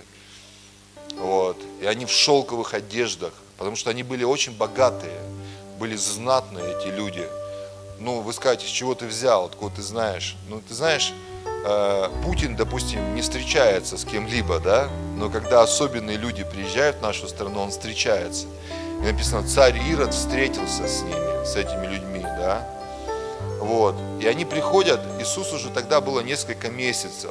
Знаете, заходит, ну, караван такой идет, целый, верблюды, лошади, возможно, да, слуги, охранники с копьями, с мечами, с кольями там. И вот эти солидные мужики, они заходят в тот дом, там написано, это, это не в хлеву же было, это в хлеву пастухи пришли. Он заходит, и лежит маленький ребеночек три месяца, может, четыре месяца, мальчик, да, они встают на колени перед ним, они кладут им перед ним золото, ладан, смирну, да, поклоняются ему. Вот, как это все удивительно. Я сегодня, когда ну, молился, я проходил да, вот этот путь, я представлял это все. Вот, и, э, и вы можете от рождения Христа в молитве проговаривать, это укрепит вас, возвысит вашу веру до распятия, до вознесения Иисуса Христа. Вера от слышания, слышание от Слова Божьего. Но когда вы будете размышлять над этим Словом Божьим, то тогда ну, в молитве да, будет преобразование ваше. И, конечно же, еще, еще раз хочу сказать, братья и сестры, нам нужно покаяние. Нам нужно изменение. У нас хватает грехов. Нам нужно понять, что да, мы спасены, мы, мы спасены, но мы грешные люди, и мы живем в, грешной, э, в, грешной, в грешном теле, да, в грешной плоти. И нам нужно покаяние, нам нужно очищение наших грехов. Нам нужно это. И нам нужно не замазывать свои грехи. Давайте мы сейчас встанем и помолимся. Да? Да. Отец Небесный, мы благодарим Тебя за сегодняшнее слово, благодарим Тебя за проповедь Саши, за свидетельство Игоря, что Ты вывел его из всех долгов. Мы благодарим Тебя за, за все, за все, за это слово о молитве. Я прошу Тебя, Отец, во имя Иисуса Христа, благослови, чтобы молитва поднялась в наших жизнях, чтобы мы выделили каждый день время для молитвы, взяли для себя обеты молиться, молиться. И дай нам, Господь, просто начать читать книги о молитве, изучать этот вопрос, смотреть проповеди в Ютубе касательно молитвы многих мужей Божьих, которые говорят о важности молитвы. Господь, мы просим Тебя, прости нам все наши грехи, все наши беззакония во имя Иисуса Христа. Дай нам осознать, что Ты хочешь общаться с нами, что Ты ищешь общение с нами. И Господь, дай нам также, вот когда мы будем молиться, сравнивать себя с десятью заповедями. Если мы видим, что какой-то грех есть в нашей жизни, дай нам исповедовать его, покаяться в этом грехе, во имя Иисуса Христа. Благослови, благослови, Господь. Я прошу Тебя во имя Иисуса Христа, также дай нам, научи нас в молитве быть воинами, противостоять делам дьявола, прогонять дьявола. Дай каждому мужчине стать священником в доме своем и молиться за своих детей, как за своих жен, за своих матерей, быть как воином, воином, священником, который защищает свою семью, защищает свою страну. И также, Господь, благослови наши молитвы за нашу страну, за начальство и власти, как Ты нам сказал, молиться за всех людей, за церкви, чтобы они росли. Господь, я знаю, когда придет молитва в церкви, придет духовный, духовное пробуждение, то, которое мы ждем, но когда придет молитва, тогда придет прорыв. Я прошу Тебя, Господь, научи нас молиться, как вот Иисус учил своих учеников, Иоанн Креститель учил своих учеников. Мы просим Тебя, Дух Святой, дай нам новые откровения о молитве. Научи нас молиться во имя Иисуса Христа. Благослови, пожалуйста, нас, благослови, благослови. Я прошу Тебя во имя Иисуса Христа, благослови наши семьи. Давайте мы скажем, Отец Небесный, во имя Иисуса Христа, прости все наши грехи, все-все наши беззакония. Омой нас драгоценной кровью Иисуса Христа, Сына Божьего. Научи нас молиться, научи нас воевать, научи нас общаться с Тобою, Господь. Во имя Иисуса Христа мы просим Тебя, разрушь все дела дьявола в наших жизнях – Избавь нас от лукавого во имя Иисуса Христа. Мы верим и исповедуем, что кровь Иисуса омывает нас и омыла нас от всякого греха. Мы верим и исповедуем, что ранами Иисуса Христа мы исцелены от всякой болезни. Мы верим и исповедуем, что мы освобождены от всякого рода проклятий. Мы благодарим Тебя, Господь, за Духа Святого, которым мы наполнены. Благодарим Тебя, Господь, за свет Божий, которым мы наполнены. Преобрази наши жизни. Отец, во имя Иисуса Христа, мы просим Тебя, в этой молитве мы прощаем всякого человека, который чем-либо нас обидел. Во имя Иисуса мы благословляем всех людей. Слава Тебе, Отцу, Сыну и Святому Духу. Аминь, аминь, аминь. Слава Богу. Давайте мы, да, перейдем к вечере, да. Давайте э, перейдем к вечере. Сегодня у нас, да, вечеря Господня. И Слава Богу, да, за, за вечерю, за жертву Иисуса Христа, да. Благодаря только жертве Иисуса Христа мы получили прощение, да, наших грехов. Мы получили избавление от наших грехов. Я сегодня, знаете, тоже, когда молился, размышлял, я думаю, если бы не Иисус, то у нас бы с вами бы не было бы надежды на спасение. Представляете? У нас не было бы надежды на вечную жизнь у нас не было бы надежды на исцеление наше. И благодаря жертве Иисуса Христа, да, мы имеем все вот эти обетования, благословения, спасения. Кто-то говорит, имеют ли там мусульмане или буддисты или еще кто-то. Я говорю, я не берусь за это судить. Я знаю точно, что я имею. Вот это для меня более важно. И я знаю, что те, кто принял кровь Иисуса, те, кто верят в кровь Иисуса, они тоже имеют жизнь вечную и прощение своих, э, всех своих грехов. Вот это точно знаю. И Иисус нам заповедовал, когда Он был еще здесь на земле, Он собрал своих учеников, и Он сказал, делайте это в мое воспоминание. Когда Он взял э, чашу, да, и Он благословил, и Он дал ученикам, Он сказал, пейте, это кровь Нового Завета. Потом он взял хлеб, преломил его, и он сказал, ешьте, это, ну, это тело мое, да, за вас ломимое. И мы, когда, э, когда евреи были здесь, э, ну, до прихода Иисуса Христа, так Богом было установлено, чтобы ему получить э, прощение за свой грех, ему нужно было взять овечку, прийти к священнику. Священник убивал эту овечку и проливал кровь. И потом он отдавал, ну, часть там овечки брал, сжигал, и, ну, и приносил в жертву эту овечку – и объявлял этого человека чистым и святым. Во время пасхальной жертвы они обязательно должны были есть эту овечку, как бы соединиться с этой овечкой.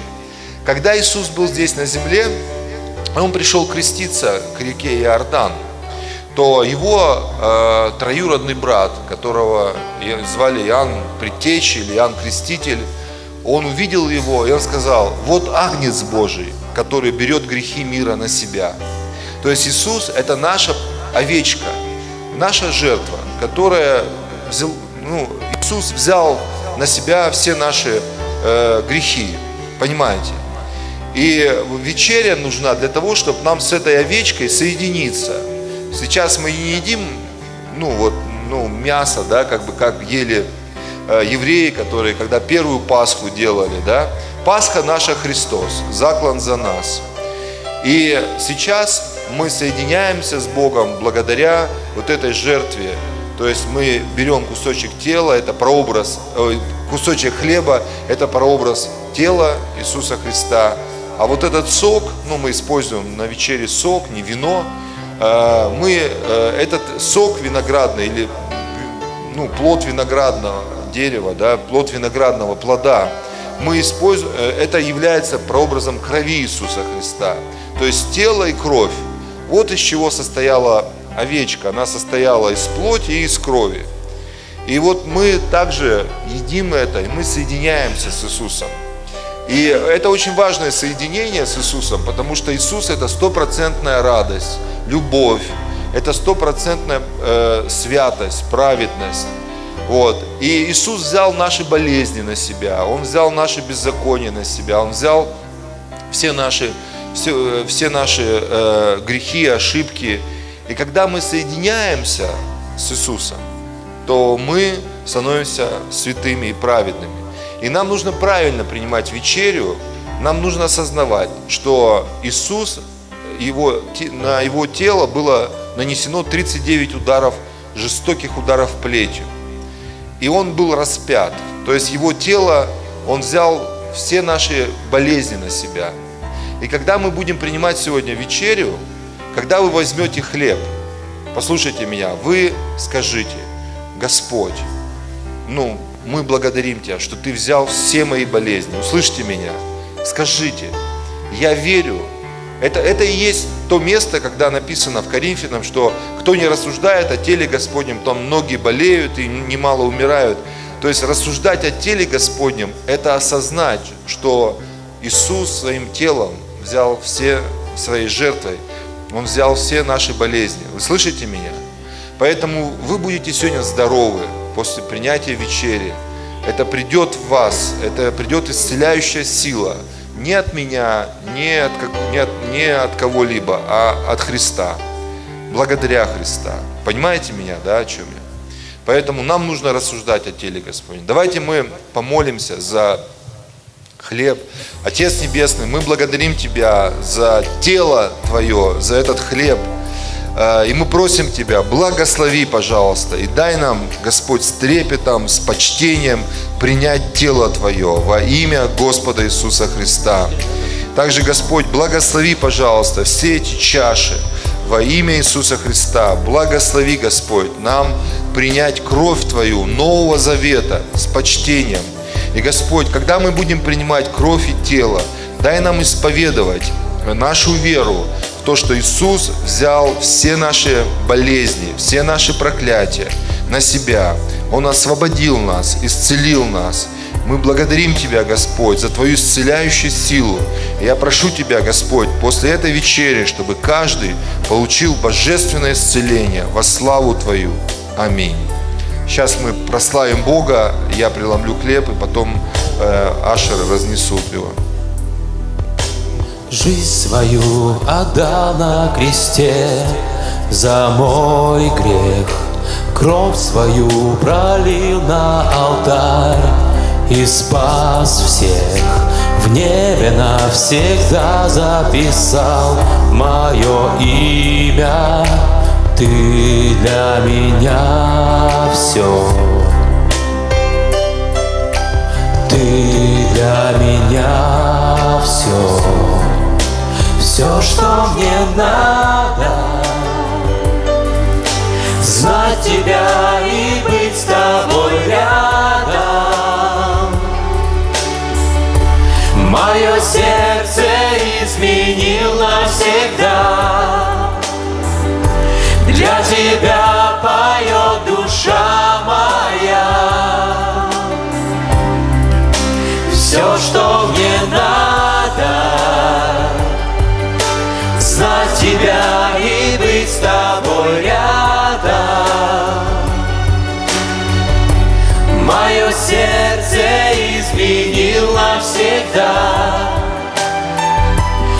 Для тебя поет душа моя. Жизнь свою отдал на кресте за мой грех. Кровь свою пролил на алтарь и спас всех. В небе навсегда записал мое имя. Ты для меня все. Ты для меня все, все, что мне надо, знать тебя и быть с тобой рядом. Мое сердце изменил навсегда. Тебя поет душа моя. Все, что мне надо, знать тебя и быть с тобой рядом. Мое сердце изменил навсегда. Для тебя поет душа моя.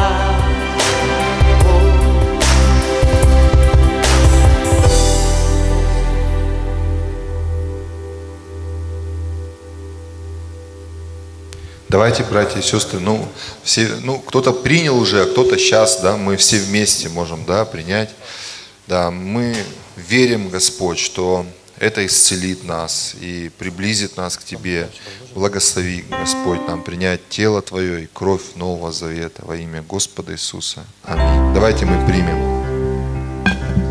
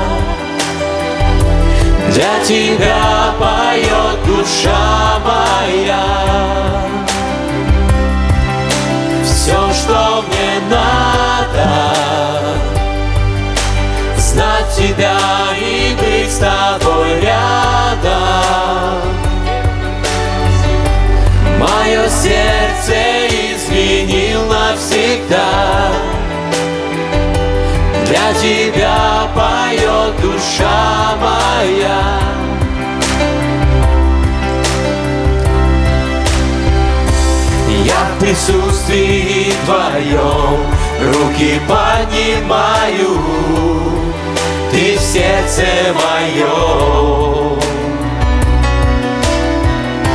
Всей душой Тебя, мой Бог, благословляю, Ты все во всем. Я в присутствии Твоем руки поднимаю, Ты в сердце моем. Всей душой Тебя, мой Бог, благословляю. Ты все во всем, все, что мне надо.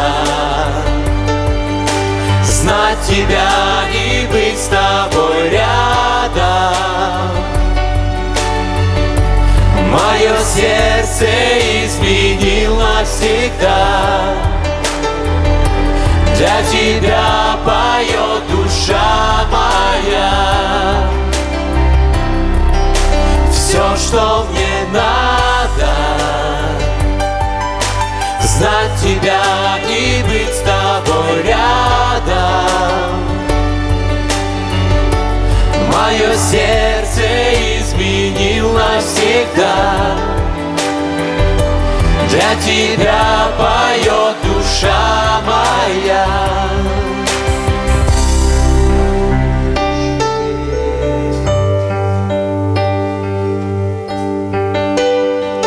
Братья и сестры, у меня есть несколько объявлений.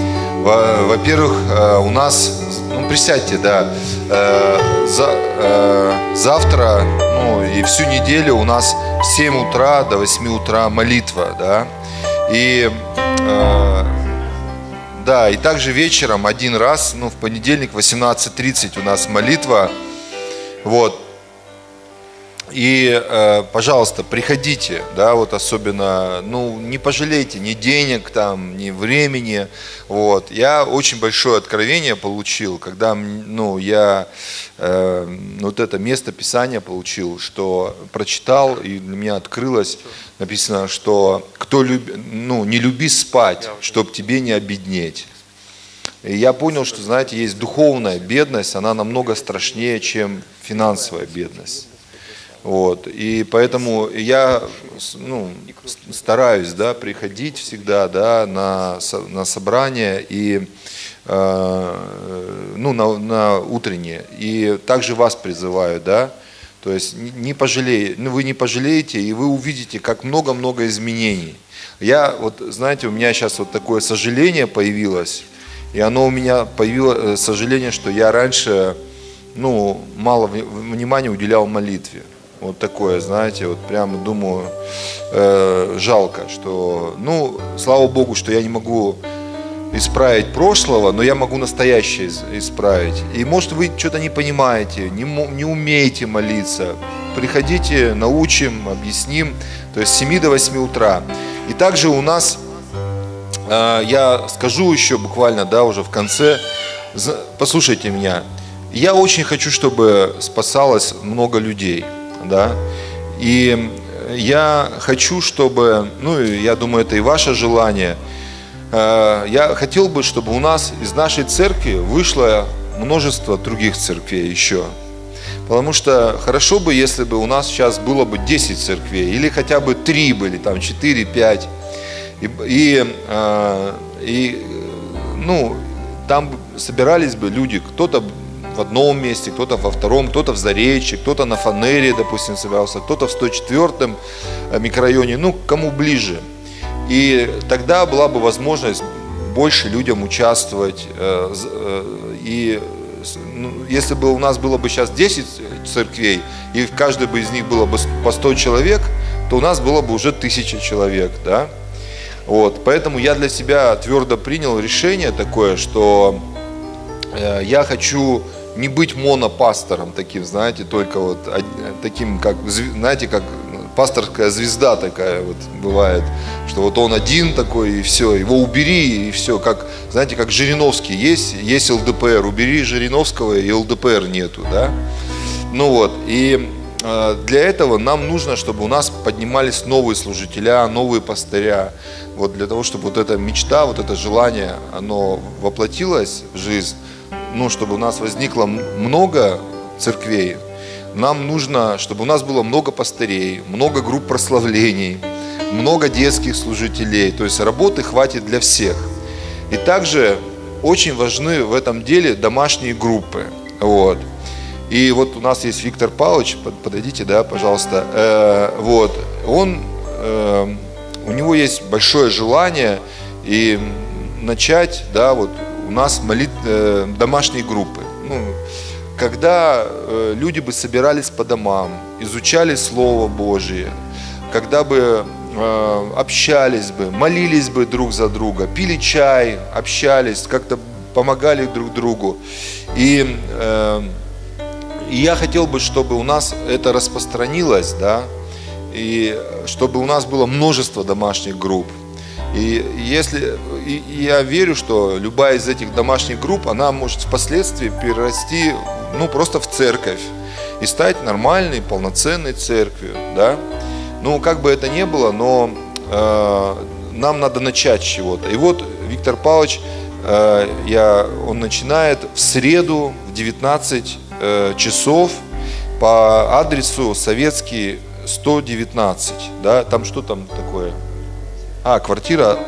А, а там... Э, нет, там не, не указан этот э, номер квартиры. Советский дом 109. А, да. И вы запишите, ну вот, э, телефон, да, его. Но кто хочет прийти вот на первую домашнюю группу, да, пожалуйста, подойдите вот к Виктору Павловичу сегодня после собрания, запишите его номер телефона, просто мы хотели это высветить на, на стену, но сегодня нет этой возможности, вот, и вот Виктор Павлович, он начинает уже, вот, он будет ответственный за домашние группы в нашей церкви, вы слышите, да? И если кто-то из вас хочет тоже проводить домашнюю группу, тоже к нему подойдите. У кого-то, может, есть квартира, ну, где вы могли бы люди собираться, но вы, может, пока еще не уверены сами, как ввести домашнюю группу, не знаете, но вы можете предоставить квартиру, тоже к нему подойдите, запишитесь, он запишет вас. Хорошо? Давайте мы сейчас помолимся да, за этот вопрос. Отец Небесный, мы просим Тебя, благослови, пожалуйста, Виктора Павловича и вот этот проект домашних групп во имя Господа Иисуса Христа. Мы молим Тебя и благословляем его как лидера всех домашних групп. Э, пожалуйста, Господь, используй его на этом деле.